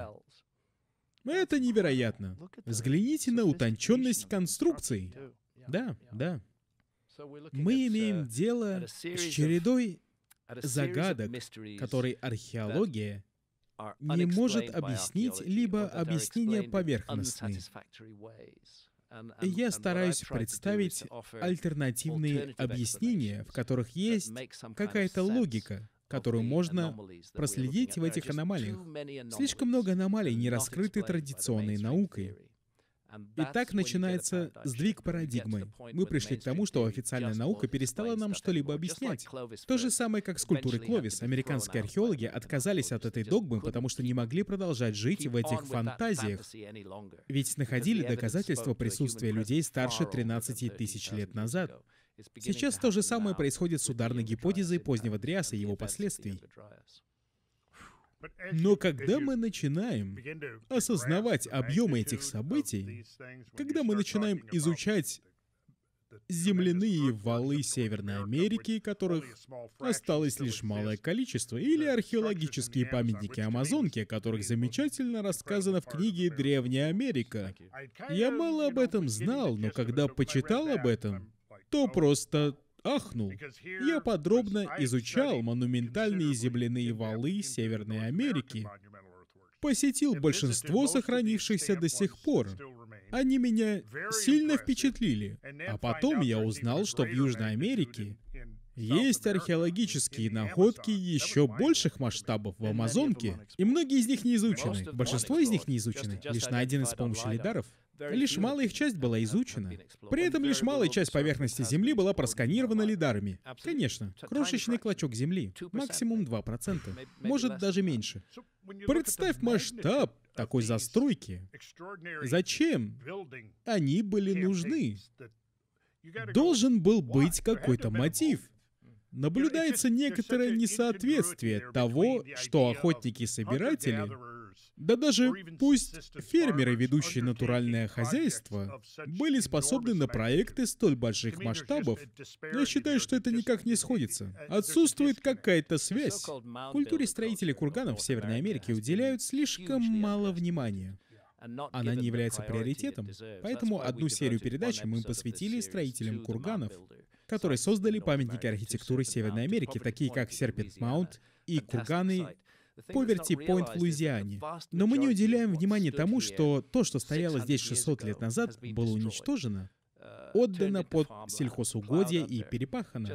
Их стерли с лица земли. Таким образом, у нас возникла амнезия. Это происходило в Северной Америке, но те памятники, которые остались, повествуют нам о утонченности своих создателей. А горизонт все продолжает отдаляться. Курганы Поверти-Пойнт в Луизиане — удивительное место огромных масштабов. Они имеют масштабное пирамидальное строение. Их возраст составляет примерно 2700 лет но они напрямую связаны с другим памятником архитектуры под названием Уотсон Брейк. Он расположен на милю к северу. Они идеально выровнены по Уотсон Брейк. Два памятника связаны друг с другом. Уотсон Брейк возник 5300 лет назад. Другие памятники возникли 8000 лет назад. И это лишь те, которые до нас дошли. Думаю, что культура строителей курганов, как их называют в Америке, также возникла во времена ледникового периода. Это очередная загадка, где нам доступны лишь ее фрагменты, на основе которых мы пытаемся делать выводы. Но эти фрагменты повествуют нам о богатой истории Северной Америки, которую предпочитают игнорировать. Отчасти это игнорировалось, потому что поселенцы Северной Америки хотели принизить заслуги тех, чьи земли они забирали, воспринимали их ниже себя по статусу и не ставили их заслуги выше своих. Но если изучать их работы, становится ясно, что к ним приложили руку продвинутые жители Северной Америки, и их древняя культура, к сожалению, была практически не изучена. Опять же, учитывая нанесенный урон в соответствии с ударной гипотезой позднего Триаса, большая часть из них была бы уничтожена. Естественно, подобные последствия нельзя недооценивать. Масштаб потопа на всей территории Северной Америки на 650-800 километров южнее ледяной шапки. Ледяная шапка добралась до куда? До Миннесоты? Где-то так. Все к югу от этого места попросту разорвало на клочки во время катаклизма позднего Триаса. Все было уничтожено. Потенциальные исторические находки были уничтожены стихией, полностью уничтожены до того, как пришли другие люди и уничтожили все снова. Думаю, что важно уделять внимание альтернативным точкам зрения. И именно это я сильно ценю в твоем шоу, Джо. Ведь ты владеешь крупной платформой, у тебя огромная аудитория, и ты проливаешь свет на альтернативные точки зрения. Некоторые люди не понимают, зачем ты это делаешь, но ты даешь высказаться тем, кого пытаются заглушить. Мы же хотим рассказать общественности о большем количестве вероятностей и дать ей пищу для ума. Я это очень ценю. Можно еще один ролик? Конечно. Нужно ли нам передать священный провод? Сейчас вытащу. А может и не вытащу. Ролик начинается с имени Джо. Джо, ты любезно согласился поучаствовать в моей передаче. И я тебе сильно благодарен. О, да с удовольствием. Это было честью для меня. Я рад, что такое снимается. Да, я тоже. Я лишь надеюсь, что это шоу станет толчком в нужном направлении. Иногда появляются такие личности, чьи идеи меняют представление людей. Грэм Хэнкок — человек, который, несмотря на все оскорбления и унижения от людей, высмеивающих его труды, продолжает идти своим путем. Что меня волнует, так это изучение уроков прошлого, чтобы рассеять туман, покрывающий древнюю историю. Этот туман возник из-за отсутствия доказательств. Нам приходится рисовать картину прошлого по отрывочным свидетельствам. Ну, здрасте. Да уж. Некоторые силы хотят закрыть эту передачу. Археологи уже пожаловались Netflix и сказали, что такую передачу нельзя показывать. По сути, сказали, что Хэнкок должен заткнуться. Они говорят, что я пудрю мозги общественности. Я думаю, люди способны делать собственные выводы. Я бы пригласил этих людей сюда, чтобы они обсудили эти вопросы с тобой. Да. Это было бы очень интересно. Интересно послушать их аргументы по поводу ударной гипотезы позднего Дриаса. Да, в принципе, во всем этом. Это гипотеза кажется правдоподобной и имеет под собой доказательную базу. Конечно, было бы неплохо поучаствовать в подобных дебатах. Немногие археологи осмелились бы на это. Я тоже хотел это сказать. Не думай, что кто-либо к тебе придет. Они будут придумывать отговорки, что не хотят опускаться до обсуждения подобного вздора. Ты даешь им платформу? Моя любимая фразочка. Они так часто говорят. Опоздали. Это кофе? Плесни немного, пару капель. Без проблем. Хватит. Спасибо. Пожалуйста. Удивительно быть фанатом твоих работ, а потом узнать тебя поближе. И ты был одним из первых наших гостей. У нас с тобой давняя история, Джо. Да, ты был одним из первых гостей, не из комиков и друзей. Я был в предвкушении перед тем первым выпуском, еще с Дунканом Трасселом. Да, это правда. Мы с Дунканом давно следили за твоей деятельностью. Мы были твоими большими поклонниками, но приятно видеть, как твои идеи становятся все более общепринятыми. И теперь, благодаря изучению ударной гипотезы позднего Дриаса, все это подтверждают серьезные доказательства. Да, меня это также вдохновляет. Я испытал множество нападок оскорблений из-за своих работ и слов. И постепенно появляется все больше доказательств, которые путают критикам все карты. Они все равно против, но их критика не имеет надо мной прежней власти. Гюбекли Тепу уничтожил все аргументы против того, что возраст сфинкса не может насчитывать 12 тысяч лет. Ударная гипотеза позднего Дриаса уничтожает все аргументы против того, что 12 тысяч лет назад не было никакого катаклизма. И появляется все больше доказательств в пользу этих гипотез, и мы увидим их еще больше в будущем. Не хочешь рассказать про космический саммит? И да, в следующем году мы организуем конференцию под названием «Космический саммит». Думаю, он пройдет в июне. В Ашвилле, в Северной Каролине. Я опубликую анонс на своем сайте grahamhancock.com. На моем тоже будет. И на твоем. А вот и он. Вот он. Да, с 16 по 18 июня 2023 года. Джейми, прокрути вниз, хочу посмотреть, кто еще с вами будет. Джейми Корсетти также приходил ко мне на подкаст. Прокрути ниже. Йоанна Джеймс, Алан Уэст к нам присоединится. Классно, что к нам придет ряд ученых из Comet Research Group. Они присоединятся к нам и выступят на конференции. Там будет смесь очепенцев, представителей альтернативных точек зрения и мейнстримных ученых, которые расскажут о новых исследованиях. Там Уэст, Мор, Коллинса я не знаю. Все это передовые ученые, которые исследуют... Да, Телли Алихамам. Ученые, которые изучают ударную гипотезу позднего Дриаса. Можешь вернуться, Джейми? Ниже. Стоп. Еще чуть ниже. Подполковник Мэтью Ломайер. Я хочу, чтобы ты его позвал в свое шоу, ладно? О нем можно прочитать здесь. Бывший командир космических войск США, выпускник Академии ВВС, пилот истребителя, уволен в запас в 22-м из-за того, что написал книгу, в которой предложил реформировать армию США. Крутой мужик. И он с удовольствием с тобой побеседовал бы. Я тоже. Что это за книга, которую он написал, из-за которой его уволили в запас? По сути, он критиковал воук идеи, которые паразитируют в армии, политкорректность и волканутость. Они вложили миллион долларов в подготовку этого парня и сразу же избавились от него, когда он начал говорить правду о том, что происходит. То, что армия стала политическим инструментом, а так быть не должно. Но он очень хороший человек. Он к нам присоединится. Ты же с ним тоже не встречался. Не встречался. О чем он будет докладывать? Я думаю о... Еще до пандемии он связался со мной. Мне кажется, он узнал обо мне благодаря твоему подкасту. Думаю, оттуда. Он связался со мной, тогда он служил в Хансвилле. И он должен был стать вторым главным человеком в космических войсках. Есть видео, где Мэтт Ломайер встречается с... Найди, Джейми. Поищи Мэтт Ломайер, Дональд Трамп. Есть видео, где за ним стоят космические войска, и он встречается с Дональдом Трампом, чтобы обсудить миссию космических сил. Он связался со мной и сказал, что его интересует идея планетарной обороны. И он сказал, что внутри космических сил есть отдел, который считают это своей миссией.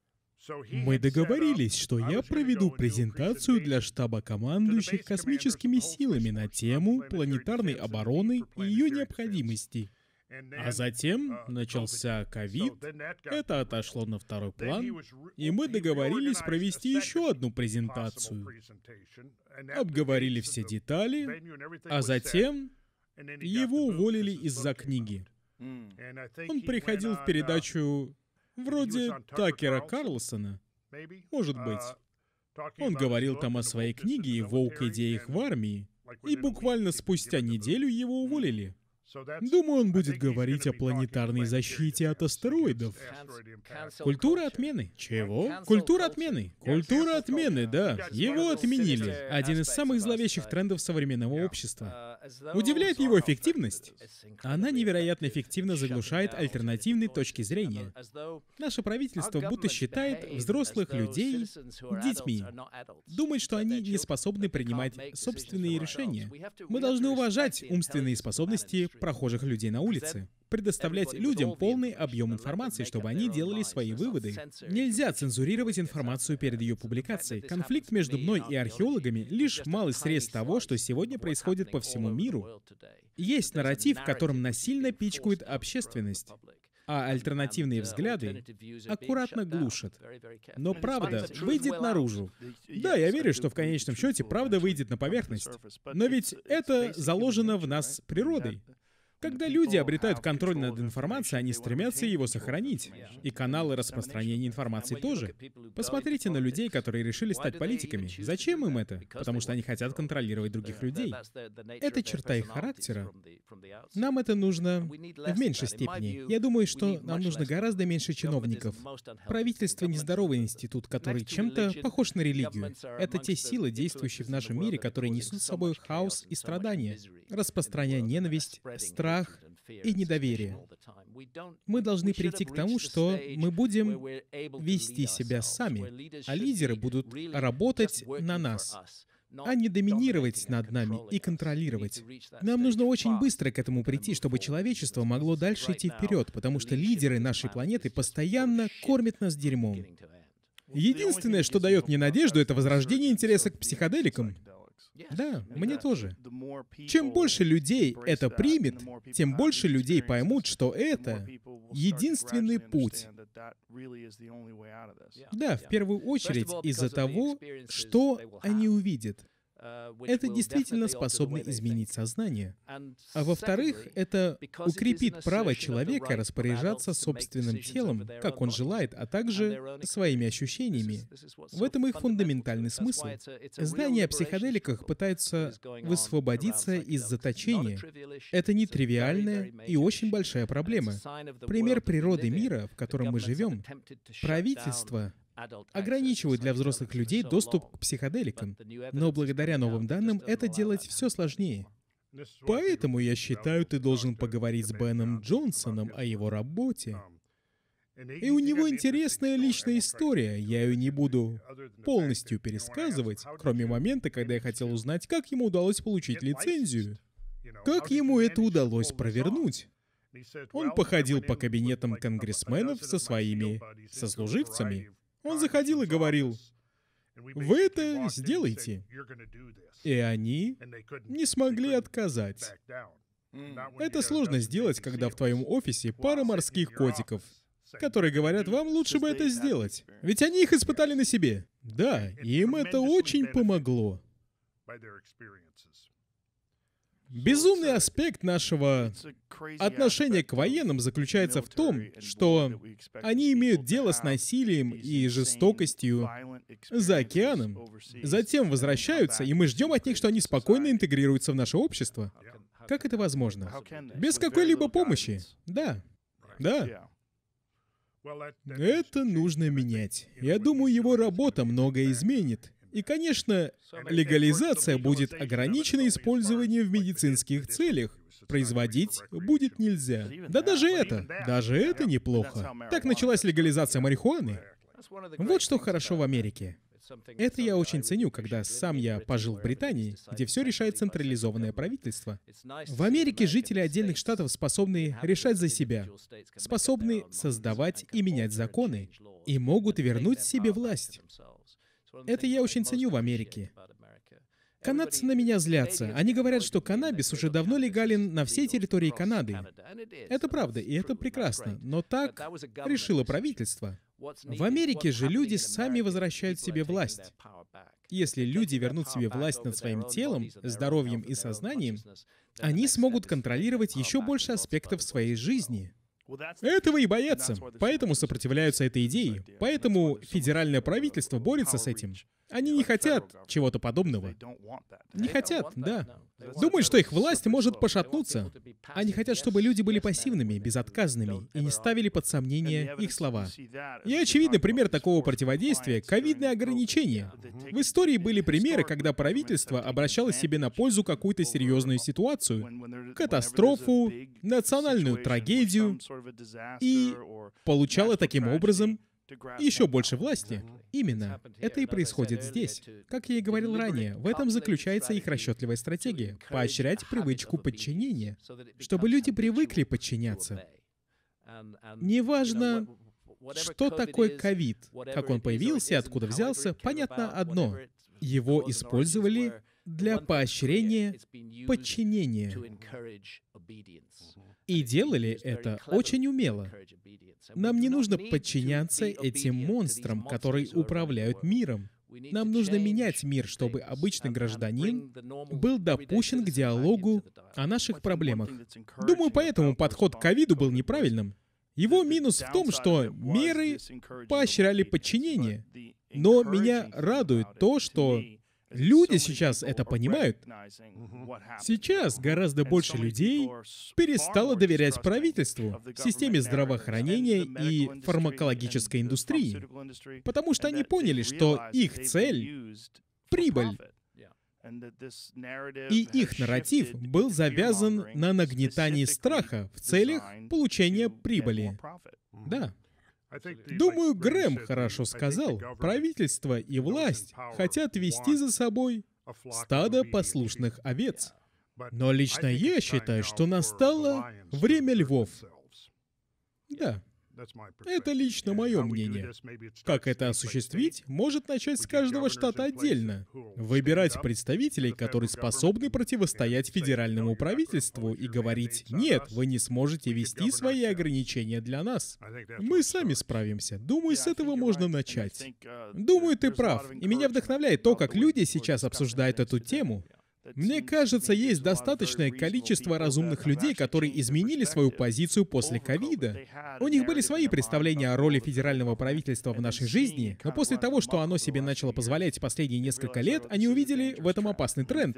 Если так продолжится, появится централизованная цифровая валюта, система социального рейтинга, а когда она уже появится, нам пизда. Полная. Такого мира мы не хотим. Нет. Нам нужно это остановить сейчас. Есть люди, которые говорят, что только так мы сможем конкурировать с Китаем, но это бред, неправда? Именно. Этим мы и отличаемся от Китая. Этим мы отличаемся от всех государств под контролем диктаторов. Именно. У нас есть свобода. Свобода мысли, свобода самовыражения, свобода обсуждать идеи и предлагать альтернативы. Свобода жить так, как хочешь. В этом сила прав отдельных штатов. Так и есть. С такой же проблемой я сталкиваюсь в борьбе с археологами. Я выступаю за суверенитет подсознания. А также я хочу, чтобы у нашего прошлого тоже был суверенитет. Чтобы так называемые эксперты нам не указывали, как мы должны воспринимать наше прошлое. Если передача добьется успеха на Netflix, будут ли какие-то обсуждения о будущих сериях, будущих сезонах? Ну, на Netflix царит закон джунглей. Да. Если передача будет популярной, надеюсь, будет второй сезон. Если ее никто не посмотрит, второго сезона, конечно же, не будет. Но надеюсь, все получится. Надеюсь, передача будет успешной. Надеюсь, люди ее посмотрят. Если все будет хорошо, во втором сезоне я бы коснулся темы психоделиков, и я бы хотел исследовать Амазонку. Я бы хотел больше времени провести в Амазонке, изучая этот вопрос. То, как там используются психоделики, а также загадочную историю Амазонки, которую пока никто до конца не рассказал. Но um, не будем загадывать, неизвестно, возымеет ли шоу эффект. Да, если бы я мог его немного прорекламировать, он будет доступен к просмотру 11 ноября 2022 года. Все серии выпускаются единовременно. Зрители могут все посмотреть за один вечер, если захотят. Сколько там серий? В общем, 8 серий. И последняя серия как раз в полной мере раскрывает тему древнего апокалипсиса. В первых семи сериях мы рассматриваем разнообразные загадки истории человечества, которые пока что остаются неразгаданными. Можно показать последний ролик? Да, конечно. Джейми, последний будет называться «Горизонт».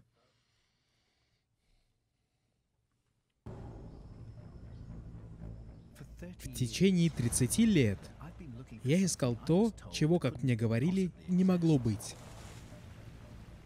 Развитая цивилизация людей, намного старше нашей, потерянная для истории. По общепринятой исторической версии, после окончания ледникового периода, наши предки, охотники-собиратели, сами по себе вдруг начали заниматься земледелием и разведением скота, созданием поселений и, наконец, городов. А затем возникли первые цивилизации около 6 тысяч лет назад. Но новые открытия отодвигают этот горизонт назад. Очень интересно. Это наша цель. Мы хотим поделиться новыми открытиями, чтобы люди могли делать собственные выводы по поводу того, что происходило в прошлом. Что же, скрестим пальцы. Это отличная передача. Мы заставим, убедим людей ее посмотреть. Существует целая сеть исследователей из разных областей науки, которые изучают аспекты этой проблемы и пытаются донести результаты до общественности. И многие из них появляются в передаче. Да, это хорошо. Я собрал самые громкие альтернативные голоса, в том числе и твой. Спасибо, Грэм. Я думаю, что Джин уже выбрался из лампы, и это большая честь записывать с вами подкаст. Скажу так, мы имеем дело с огромной стеной, с большими воротами. Можно представить Мордор с его огромными вратами. И в них есть небольшие прогалины, маленькие трещины, сквозь которые мы пытаемся что-то разглядеть в другом мире. И мы видим лишь маленькие кусочки. Но я даю прогноз. В течение пары лет мы сорвем эти ворота с петель. И с этого момента все изменится. Думаю, ты прав. Совершенно точно. Жду с нетерпением. Вперед! Вперед! Только вперед. Давайте Попытаемся по-другому взглянуть на вещи. Давайте не зацикливаться на старых представлениях. Давайте идти вперед и открываться чему-то новому. Да, давайте. Господа, это большая честь. Рад, что вы пришли и счастлив быть вашим другом. Спасибо, Джо. Взаимно, Джо. Спасибо. И спасибо за нашу совместную работу на протяжении стольких лет. Это интересно. Без твоей поддержки археологи смогли бы меня заткнуть и держали бы меня подальше от общественности. Твоя поддержка все изменила. Это одна из любимейших особенностей подкаста. Давать слово таким людям, которые могут рассказать об интересных и очень важных идеях. Да. А я все буду пытаться тебя вытащить в поля на несколько дней. Я поеду, поеду, обещаю. И тех джентльменов, о которых ты говорил, я приглашу на подкаст. Это точно. Давай организуем дебаты с самыми громкими критиками из мира археологии. Всем таким, кто меня слышит, всем привет. Приходите. Мы с удовольствием это сделаем. Мы к вам отнесемся с уважением. Это не подстава. Мы бы хотели услышать стройные контраргументы, оспаривающие данные идеи, и выслушать комментарии по поводу новых доказательств. Да. Ну, не знаю. Не знаю. Не к тому, что их будет сложно убедить сюда прийти. Может, как ты и говорил, привратники должны уйти, чтобы дать дорогу молодым, более открытым археологам. И многие начинают увлекаться археологией благодаря вам. О, да, их число довольно большое. Да. Я встречался со многими молодыми археологами во время своих исследовательских путешествий, и они втайне признавались, что читали мои книги. В тайне?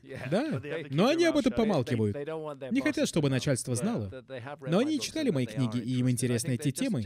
Просто молодое поколение сейчас разрушает привычные устои в каждой сфере. То же самое происходит и в археологии. И я не хочу быть тем, кто принижает труд археологов. Археологи проделали колоссальную и важную работу. Я бы не смог добиться тех успехов без трудов археологов. Проблема в этих привратниках, которые должны уйти. Ну что ж, благодаря твоим трудам это происходит. Будем надеяться. Спасибо, Джо. Вам спасибо. Спасибо, Рэндалл. Радуйся жизни, Джо. Всегда, с удовольствием. Пригласи меня еще раз. Сколько мы с тобой записали? Мне кажется, это девятый. Нужно с тобой сделать парочку, чтобы догнать. Для баланса. В следующий раз мы обсудим альтернативные технологии, над которыми сейчас идет работа. Можем в январе записать. Давай. Давай, спасибо вам. Спасибо. Всем пока.